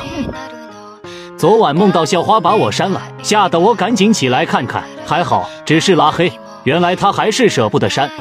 胖子有点尴尬，毕竟班长是他带来找韩贝塔，没想到班长恋爱脑突然发病了。我建议你去医院挂个号，看看脑子，对你有好处。上次高中聚会完，荣英回家就拉黑我，她肯定被你迷惑了。今天咱俩只能赢一个。我多次拒绝苏荣英，你看不到吗？一会去医院看看脑科跟眼科，对你有好处。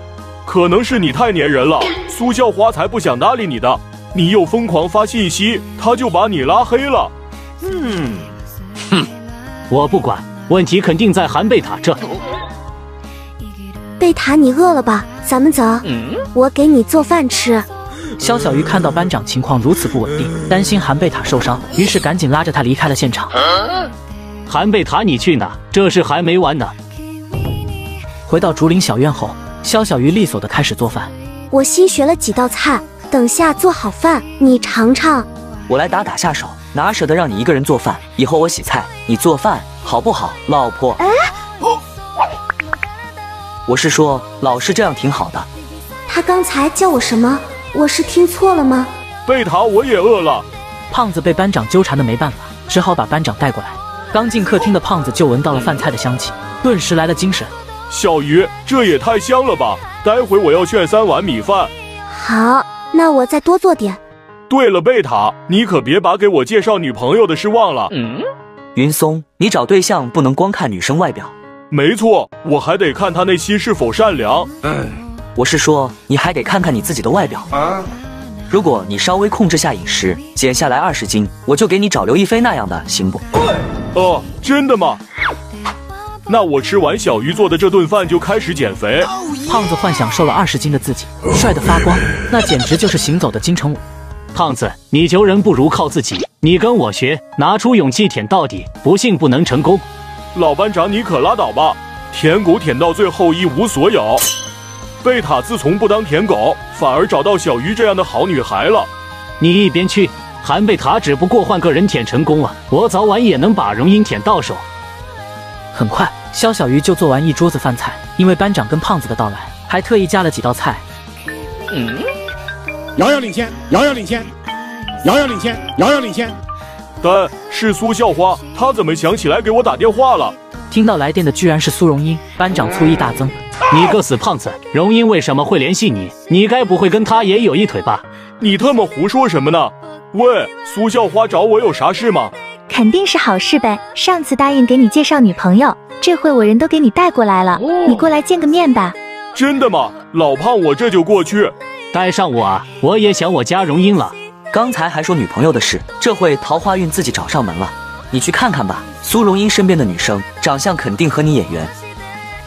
苏荣英跟闺蜜小雅在花园等很久，当看到胖子带着班长一起过来时，苏荣英瞬间觉得晦气，表情也变得很不耐烦。我给你介绍女朋友，你怎么把她带来了？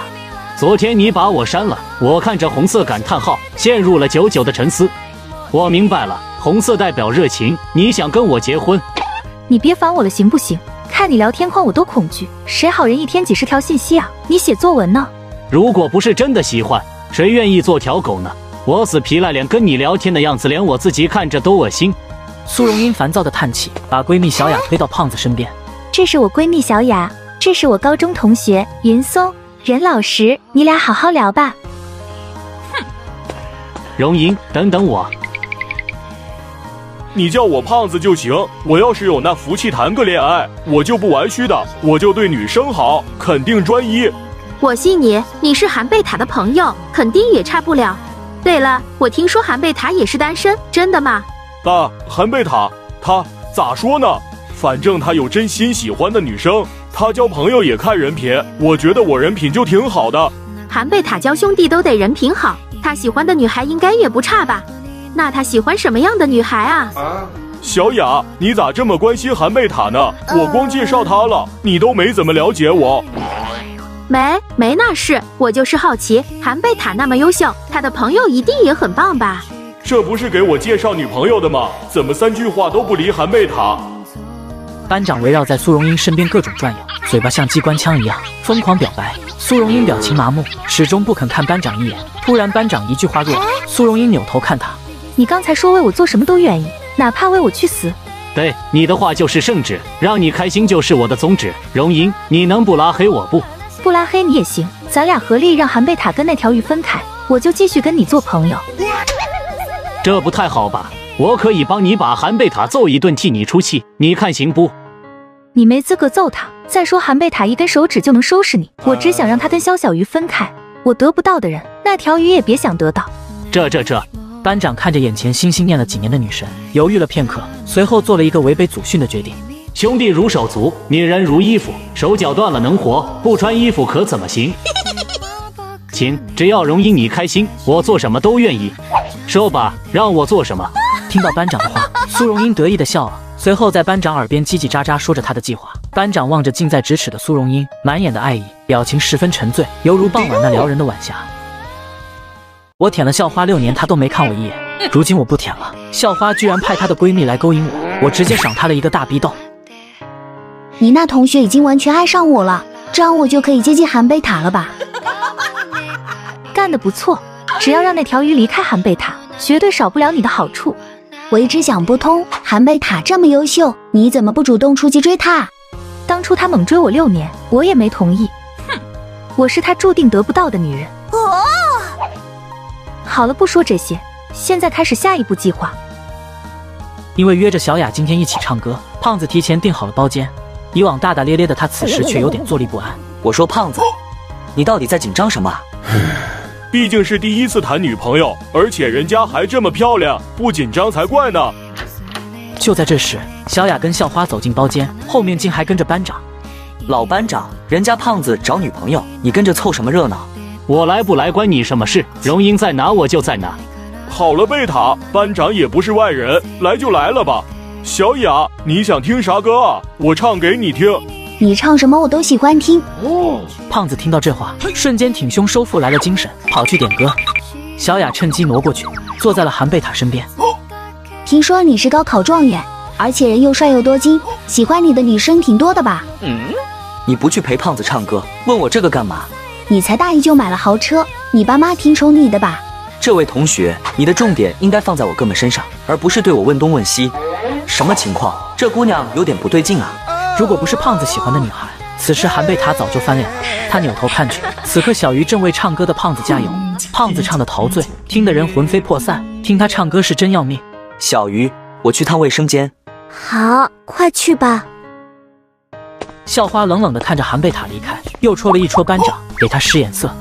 祖训我都违背了，还差背叛兄弟吗？这么的，为了校花，我咬着后槽牙就是冲。小鱼，韩贝塔这人靠不住啊！他狂追校花六年，卑微如狗啊！结果说不舔就不舔了，这人太绝情，太可怕。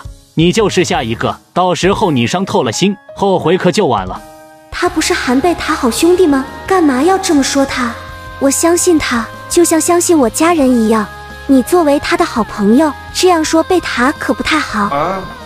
这憨憨女孩怎么听不进去啊？话说我还真羡慕韩贝塔找到这么好的姑娘。另一边，刚放完水的韩贝塔从卫生间出来，就碰到了小雅。这么巧啊！我先回包厢了。哎，别走，不是巧，是我一直在等你。嗯，这女人到底想搞什么幺蛾子？有话直说，别浪费我时间。你身边那个女孩一看就是乖乖女，跟这种老实巴交、没有情调的女生谈恋爱有什么意思？不如考虑考虑我如何？胖子啊，老天爷都不帮你，你挑中的女孩咋都跟骑行种一样，后期都要开始变异了。今天的主角是我兄弟，你别辜负他，也别把精力花我身上。我不喜欢胖子，我喜欢你。如果让我再听到一句这种话，别怪我不客气。嗯，我倒想看看你怎么对我不客气。胖子唱得一身大汗，扭头一看，除了小鱼始终在为自己加油，剩下的人各忙各的。韩贝塔跟小雅全都不在了，他们人呢？我看见韩贝塔前脚走，小雅后脚就跟出去了，俩人像说好了似的，一直都没回来。我话都说的这么明白，小鱼还不吃醋闹翻天啊？就算他不吵不闹，也肯定疑心了。小鱼，你太单纯了，就像当初的我。韩贝塔本来就是见色忘义的人，我就是活生生的例子。你你们到底在说什么？胖子听班长跟苏校花说的话，越听越不对劲。你俩在搞什么飞机啊？贝塔不在这里，你们就说他坏话，再这样我可翻脸了。是小雅的声音，走去看看。小雅，你怎么了？只见小雅坐在地上，一只手指着韩贝塔，另一只手捂着被扇肿的脸。他韩贝塔，他简直是个禽兽！我明明是你女朋友，他还对我动手动脚，我反抗不从，他就给我一大逼兜。看来不止我一个人在奋斗，苏小花的经费在燃烧啊！韩贝塔，你怎么能干出这种事？简直禽兽不如！这是我给云松介绍的女朋友，你也下手，真是恶心！你们说什么呢？这里面肯定有误会，贝塔不是这种人。云松，苏荣英给你找的这个女孩，她心术不正。刚才她……你不用说完，我都懂。咱俩相处的兄弟情是真的，一路处下来，我还不知道你是啥人吗？云松，我对你可是一片真心，他先动我的，我是死抵抗啊。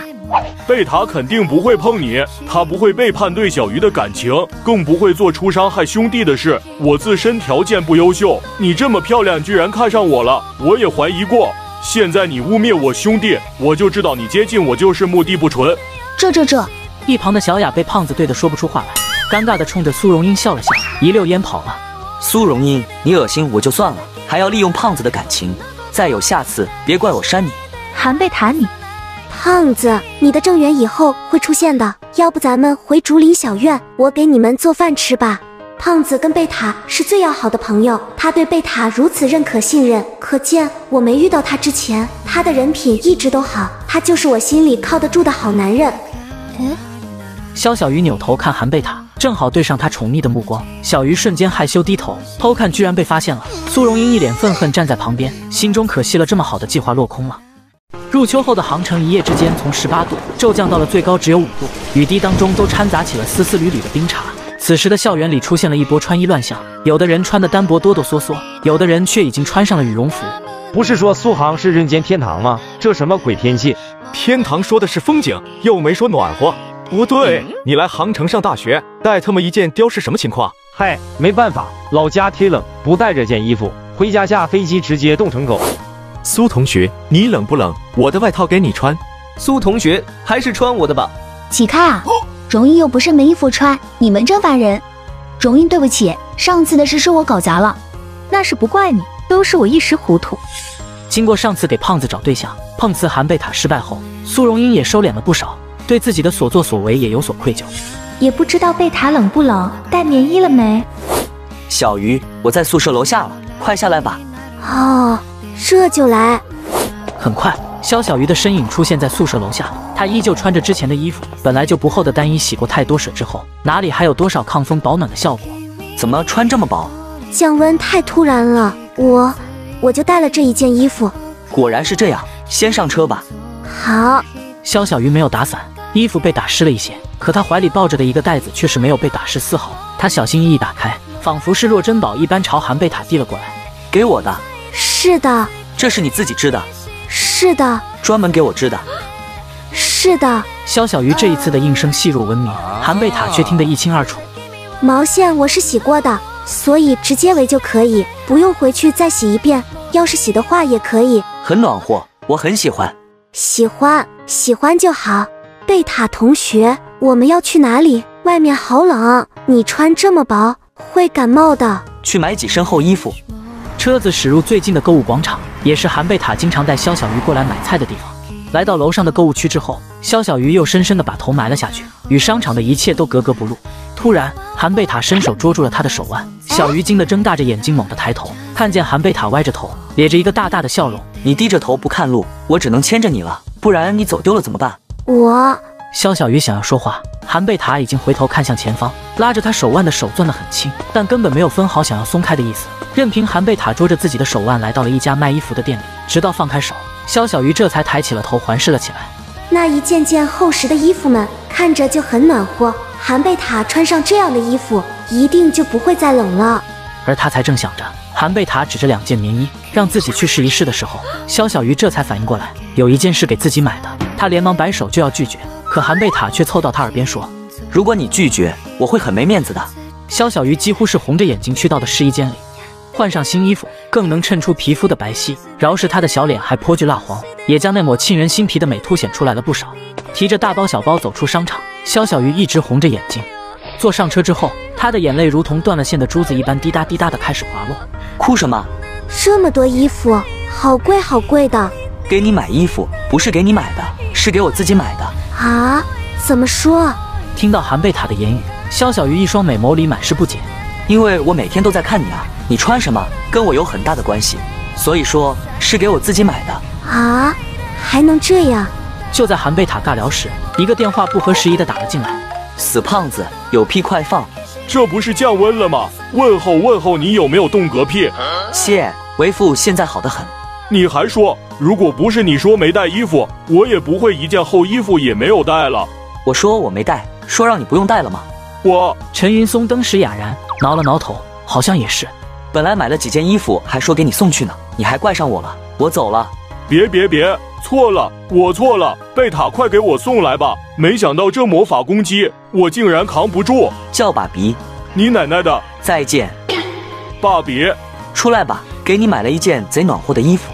好嘞，马上到。很快，韩贝塔就开车来到胖子的校门口。穿上新棉服的胖子对韩贝塔一脸的感恩戴德，随后二人没做停留，赶回了学校。贝塔，晚上还要一起吃饭吗？嗯，为什么这么问？最近奶茶店里很忙，还要准备考试，大家都很累。我再不去的话，会让大家分摊到更多的工作量的。放心吧，知道要考试，我已经进行工作时间的调整了。没有你，他们也不会太累的。所以到考试这段时间，你就先不要去工作了。啊！快考试了，我都没怎么学。你这段时间的主要任务就是给我补课。补课？我我不会教人的。没关系，你学就好，我看着。有什么不会的，我问你。我舔了校花六年，她都没看我一眼。重生后我不舔了，校花却急眼了。殊不知现在的我只想考上大学，努力终有回报。我考了七百三十五分，成了全国状元。清北给发来了录取通知书，但我统统拒绝，选择了浙大，只为寻找上一世让我魂牵梦绕的宝藏女孩。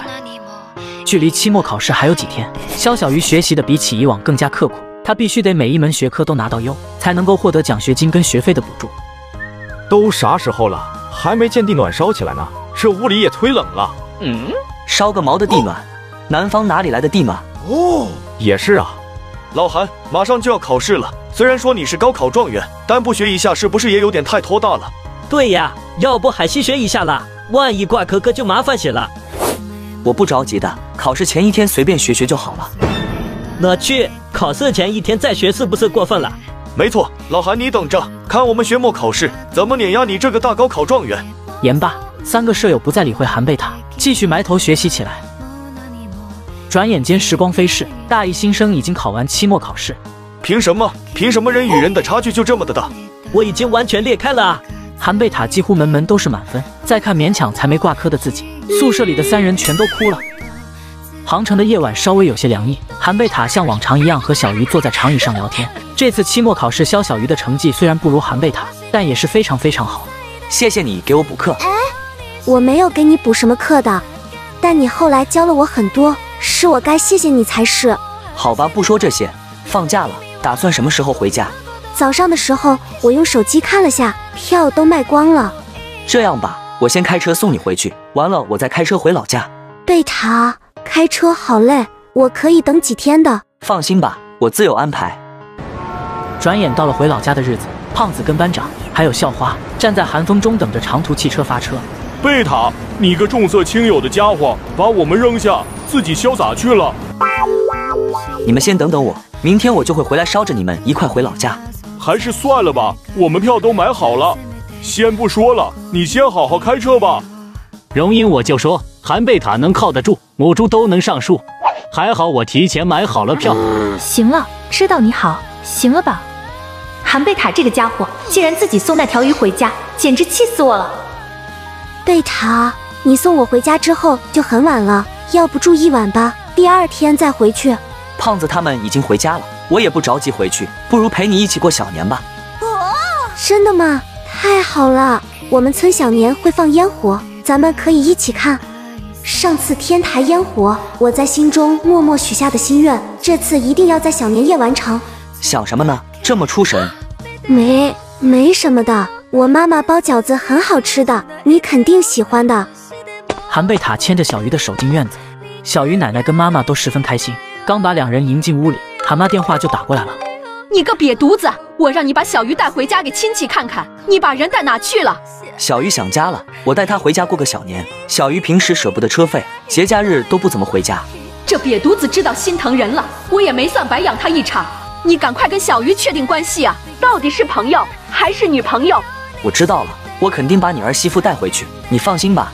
这段时间，韩贝塔承包了各种家务，她的表现让奶奶很满意。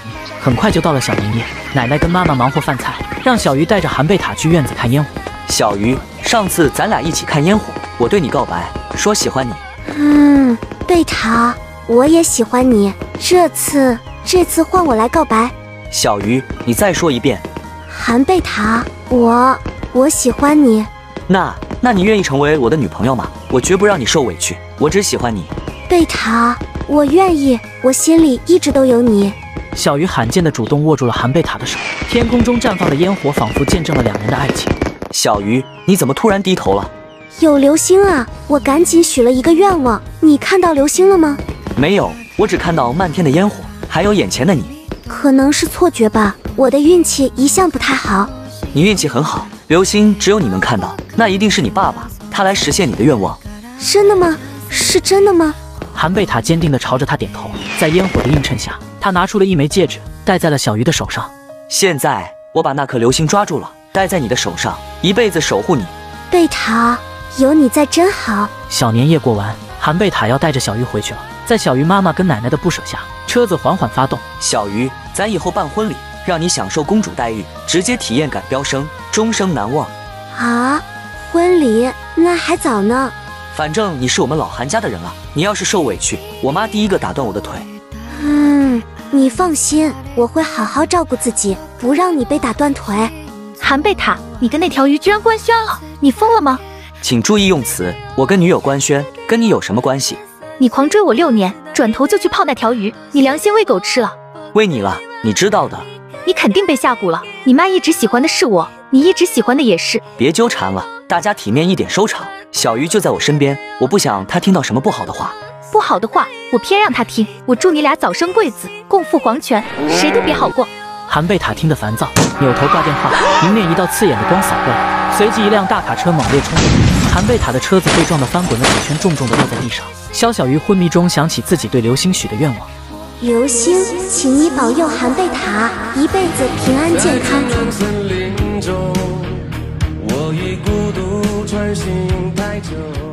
我舔了校花六年，她都没看我一眼。如今我不舔了，转头和别的女孩在一起。校花却打来电话诅咒我。该很贵吧？再过一段时间就考试了，我如果能拿到奖学金，应该够用吧？尽快通知家属吧。你男朋友呢？让他过来一趟。别让他知道，我不想增加他的负担，他已经很难过了。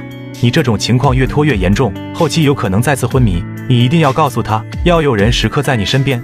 好的，医生，谢谢你。等我拿到全额奖学金，我就过来手术，这样家人不会感到担心，韩贝塔也不会继续愧疚了。我可以的，再给我一些时间就好了。只是为了拿到全额奖学金给自己看病，肖小鱼不分昼夜的刻苦学习。这段时间，他时常感觉到头晕，视线模糊到看不清题目。而此时的宿舍里却来了几个不速之客。听说你这条臭鱼最近学习很刻苦呀，给你介绍一下，这位是陈一诺。天赋型的学霸，你怎么努力都不会超过他的。谢谢你的提醒，有目标才会有动力。我会把这位同学当做我努力的目标的。我呸！就凭你也配把我当目标？也不撒泡尿照照镜子，看看自己几斤几两？哼！几人突然闯进别人的宿舍，显然是针对小鱼而来。只见陈一诺拿出纸笔，洋洋洒洒写了一道数学题。做出这道题，你才有资格和我争奖学金。这可是全国竞赛题，我当时就是因为这道题没拿到奖，他一个土狗能做出来才怪呢。肖小鱼拿过草稿纸，因为眼睛的缘故，始终无法看清题目，急得他眼泪就要落下来。哟，怎么要哭了？没关系，像你这样没天赋的人做不出来也正常。我努力了这么久，好不容易考上大学，现在眼睛还出问题了，我真的很差劲吗？就你这愚蠢的脑袋，就算努力到把眼睛看瞎都没用。还不如老老实实当一条在泥坑里打滚的小草鱼，不是锦鲤，还妄想鱼跃龙门。就是就是，真以为奖学金是那么好拿的吗？真不知道韩贝塔到底看上你这个土妞什么？你们几个是不是过分了？跑我们宿舍来耀武扬威？对啊，小鱼怎么样还轮不到你们来说，我们宿舍不欢迎你们。好了好了，大家不要为了我吵架。肖小鱼此时脸上也出现了怒意，他看向手中的草稿纸，在纸上简单画了两下。把答案递给学霸陈一诺，写的这么快，不会是胡写的吧？肯定是胡写的，以这条鱼的智商，怎么可能做得出来？肖小鱼同学，不会做就大方承认，我们是不会嘲笑你。陈一诺眼睛瞥向草稿纸上的答案，嘲讽的话还没从口中吐完，就一脸震惊的脱口而出：“什么？连这么难的题你都会？切，怕不是瞎猫碰上了死耗子，胡蒙的呗？对，肯定是胡蒙的。”两个讨厌的女人还在嘲讽，殊不知一旁的陈一诺已经被震惊傻了。这可是困扰他多年的数学题，竟被眼前看似柔弱的女孩轻松解答出来。做出这道题也没什么难的，大家都是同学，我不愿意和你们起争执，但是请你们不要说韩同学。还有，这里是宿舍，请你们保持安静。说完，肖小鱼突然感觉到一阵头晕目眩，倒在地上失去意识。而另一边的韩贝塔对此一无所知。他为了庆祝肖小鱼出院，准备亲手给小鱼做一桌子菜。嗯，不好了，韩同学，小鱼在宿舍晕倒了。什么？那条臭鱼不会是我们气晕的吧？我们还是赶快走吧，省得他醒过来以后讹上我们。韩贝塔的脾气你是知道的，怕什么？我们又没对他做什么。苏荣英虽然语气很强硬，但是苍白的脸色暴露了他的内心。他也害怕韩贝塔因为此事而迁怒自己。你的病情刚刚医生已经告诉我们了，所以你那么拼命学习是想用这次的奖学金来给自己做手术吧？医生说了，你不能再过度使用眼睛。有陈一诺在，你也不一定能拿到奖学金。像你这种穷鬼，没有了奖学金，估计连手术都做不了吧？不过只要你离开韩贝塔，我可以把你送到国外，给你请最好的医生治疗。你也知道留给你的时间不多了，不要谈恋爱把自己给谈没了。贝塔曾经帮助了我那么多，这还是你亲口告诉我的。既然我已经知道他对我以前的种种，你觉得我还会离开他吗？让他伤心吗？几位还是请回吧。说完，肖小鱼双眼一闭，又躺回病床之上，一副不愿意再搭理他俩的模样。苏荣英和古威气呼呼地离开了病房，两人都没有发现韩贝塔早已站在病房外，听到了他们和肖小鱼之间的对话。苏荣英，上一世你不把我当回事，把我踩在你的脚下，还让我错过了小鱼。这一世，我怎么可能再眼睁睁看着我的女人被你欺负？帮我调查一个人，用点手段，起风了，苏家就破产吧。说罢，韩贝塔便挂断电话，走进病房。贝贝塔，你怎么来了？小鱼，不要再隐瞒我了。医生已经告诉我你的病情，我们尽快做手术。可是我没有足够的钱做手术，我需要那笔奖学金。傻瓜，我有的是钱，我是你男朋友，我的钱不就是你的钱吗？但是之前你已经帮助我太多了，我不能再麻烦你。小鱼，不用再说了。小鱼，你放心，手术我们要做，奖学金我也会帮你拿到。那些欺负你的人，我一个都不会放过。肖小鱼的手术很成功，头部的血块已经被全部取出，再有几天就可以出院。调查的怎么样了？苏荣英的家庭背景已经调查清楚，不过在调查的过程中，我发现了一件事。怎么了？您和肖小鱼小姐的车祸是人为的，而且很有可能与苏荣英有关。什么？韩贝塔听闻此话，愤怒值简直到达了顶峰，攥着手机的手因为用力而青筋暴起。苏荣英，以前你欺我辱我，我都不想与你再计较，但我没想到你居然是这般蛇蝎心肠的女人。你先搜集证据，如果真是她做的，我要让她死无葬身之地。我舔了校花六年，她都没看我一眼，如今我不舔了，转头和别的女孩在一起。校花却打来电话诅咒我和宝藏女孩出事，没想到竟然真的出了车祸。我的宝藏女孩也因为事故暂时失去了记忆。失去记忆的宝藏女孩像往常一样在食堂只打了一份白米饭，配着那万年不变的榨菜。即使是这样的伙食，她也依旧非常满足。旁观的韩贝塔几人则是一阵唏嘘。小鱼还真是好眼活啊！我这么优秀，怎么不能拥有这样的女孩呢？嗯，真不知道小鱼以前是怎么生活的，只吃米饭榨菜，这怎么受得了？所以我才在想着尽可能的给她上营养，她实在太瘦弱了。韩贝塔永远也忘不了第一次见肖小鱼时，她衣衫单薄瘦弱，总爱低着头不敢看别人，但抬头时明亮的眼睛却充满生机，让他忍不住靠近。苏荣英看着心爱的人全心全意为了别的女人，心里一阵阵的痛意袭来，她实在搞不懂韩贝塔到底图什么。肖小鱼，你动作快些！穷的只能吃白米饭，还磨磨蹭蹭。古威同学，你别生气，我已经打好饭了。行了行了，你快点吧。唉，要不是为了替肖小鱼找回记忆，重现往日情景，我现在真不想当坏人，活成只知道苏荣英那种嫉妒的模样也没意思。韩贝塔如同当初那般打了很多好吃的菜，将盛满肉和菜的餐盘端到肖小鱼面前。小鱼，我吃不完这些菜，可以帮我分担些吗？不然这些菜只能倒掉。韩同学，我我们真的是男女朋友关系吗？那是当然，我是承诺照顾你一生一世的男朋友。小鱼，我想帮你找回我们的曾经。贝塔，就算我不记得从前，我也感受到你对我的好。但我要是一直想不起怎么办？真担心我这辈子都没办法恢复记忆，让贝塔失望。我们还有一辈子的时间，足够我们努力让小鱼你找回记忆的。说着，韩贝塔像往常一样。把一些肉菜不断的塞到小鱼碗里，直到放不下为止。看着爱而不得的男孩跟别的女孩一起甜蜜的吃饭，苏荣英内心的妒火快要压制不住。肖小鱼从乡下来的穷丫头，根本配不上韩贝塔。嗯，小鱼内心善良、温柔又体贴，把贝塔照顾的好好的，哪里配不上了？不就是会做个饭吗？我也可以学的。贝塔和小鱼的感情容不下第三个人，谁要破坏他们，我胖子头个不答应。胖子你。你怎么也帮那条死鱼？哼！苏大校花，贝塔早就知道车祸是你动的手脚。要不是小鱼跟贝塔求情，不要牵连苏家，你苏荣英也只能流落街头。韩贝塔是怎么知道的？当初我只是想让人吓吓他们，没想到弄巧成拙，真出了车祸。我真没想让贝塔受伤啊！唉。比起现在的你，曾经那个虽然刁蛮任性，但内心善良的你去哪了？贝塔追你六年，你不喜欢他，我也能理解。毕竟那时候他还只是个一无是处的舔狗。现在的他有了自己喜欢的人，你应该真心祝福他才是。是啊，我为什么会这样？为什么活成了自己最讨厌的样子？就算我再怎么喜欢韩贝塔，我也不该伤害另一个女孩子。哪怕我把韩贝塔抢过来，我又真的会开心吗？小鱼，吃饱了吗？我吃饱了。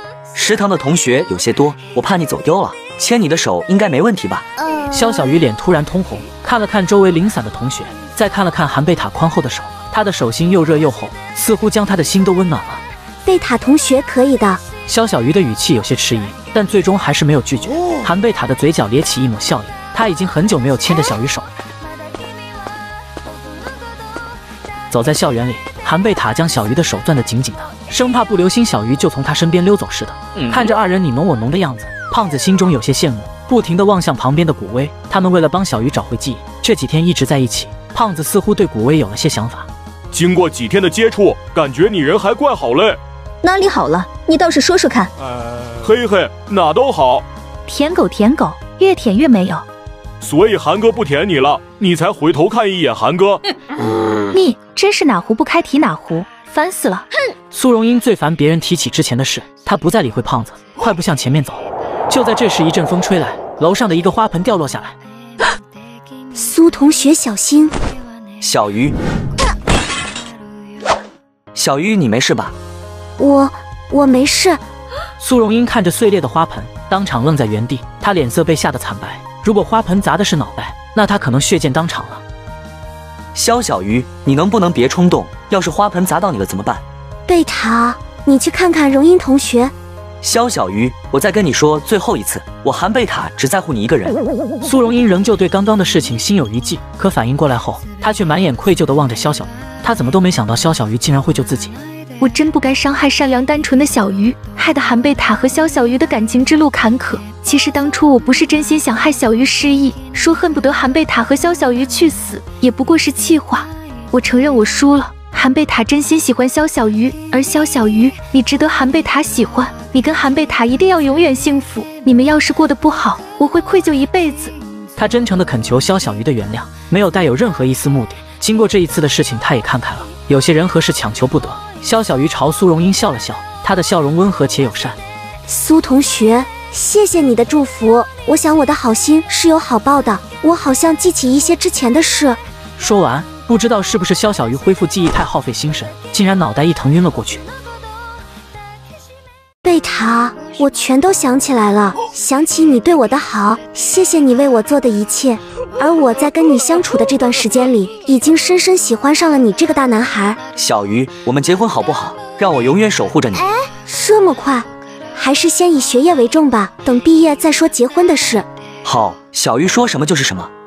这段时间，韩贝塔天天上完课就往医院跑，不仅要照顾肖小鱼，还要替他补课。肖小鱼将一切都看在眼里，心疼的不行。还好在韩贝塔的精心照料下，他很快恢复健康出院。贝塔，辛苦你这些天来回奔波。哪里哪里，一点都不辛苦。我天天跟着韩哥来回跑，也不见有人心疼我。切，谁让你没有小鱼那么好的女朋友？小鱼再好也是韩哥的，就是不知道某人能不能属于我。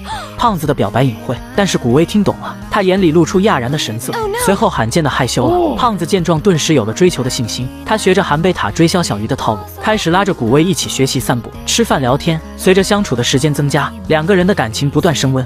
韩贝塔和肖小鱼的感情平稳发展，胖子且经过而不舍的追求，古威终于同意和他在一起。班长也在大三那年暑假旅游时碰到了一个兴趣相投的女孩子，只有校花目前还是单身一人。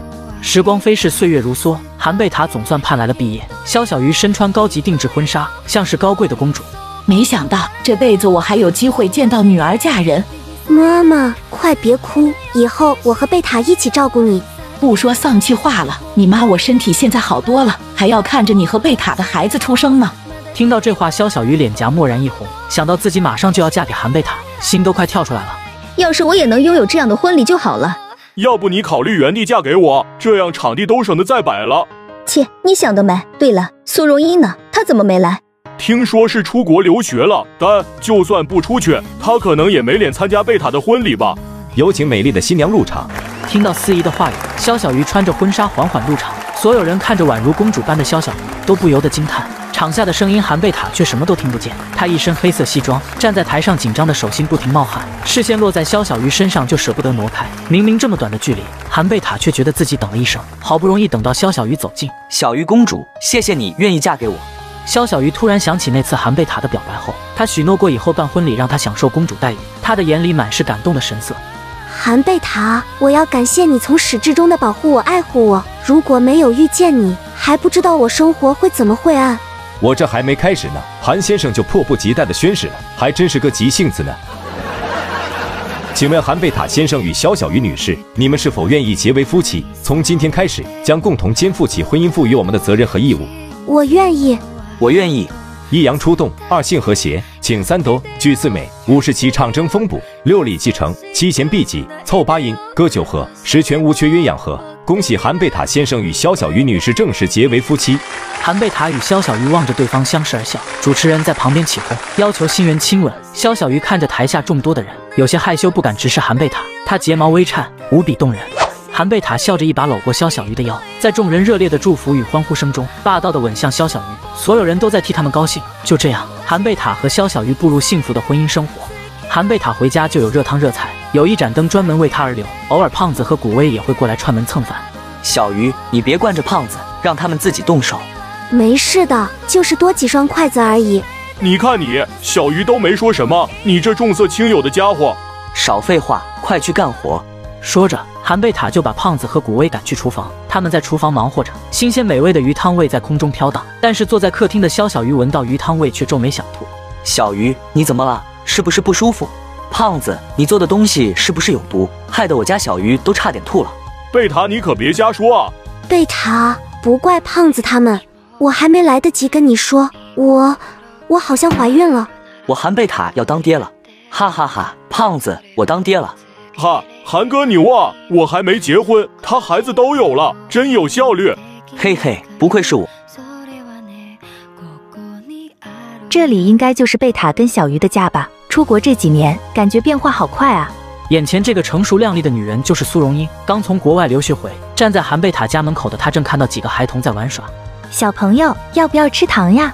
不吃不吃，不能要陌生人的东西，小心被拐跑。对呀对呀，越漂亮的女孩越危险。真是人小鬼大，这是谁教你的呀？是爸爸教我的。我认识你的爸爸妈妈呀，我们我们以前是很好的朋友。漂亮阿姨，你真的认识我们的爸爸妈妈吗？那你去不去我家玩？不用了，我不想打扰你们的生活。校花终身未嫁，买了房子住在韩贝塔小鱼附近，一生为自己犯下的错赎罪。她只要在旁边静静看着他们幸福就好。孩子们该吃饭了。肖小鱼做好饭出来喊孩子们，看到眼前的女人，一眼就认出阔别几年的校花。荣姨，你终于回来了。过去的事就让他们过去吧，我们都要奔向美好的未来。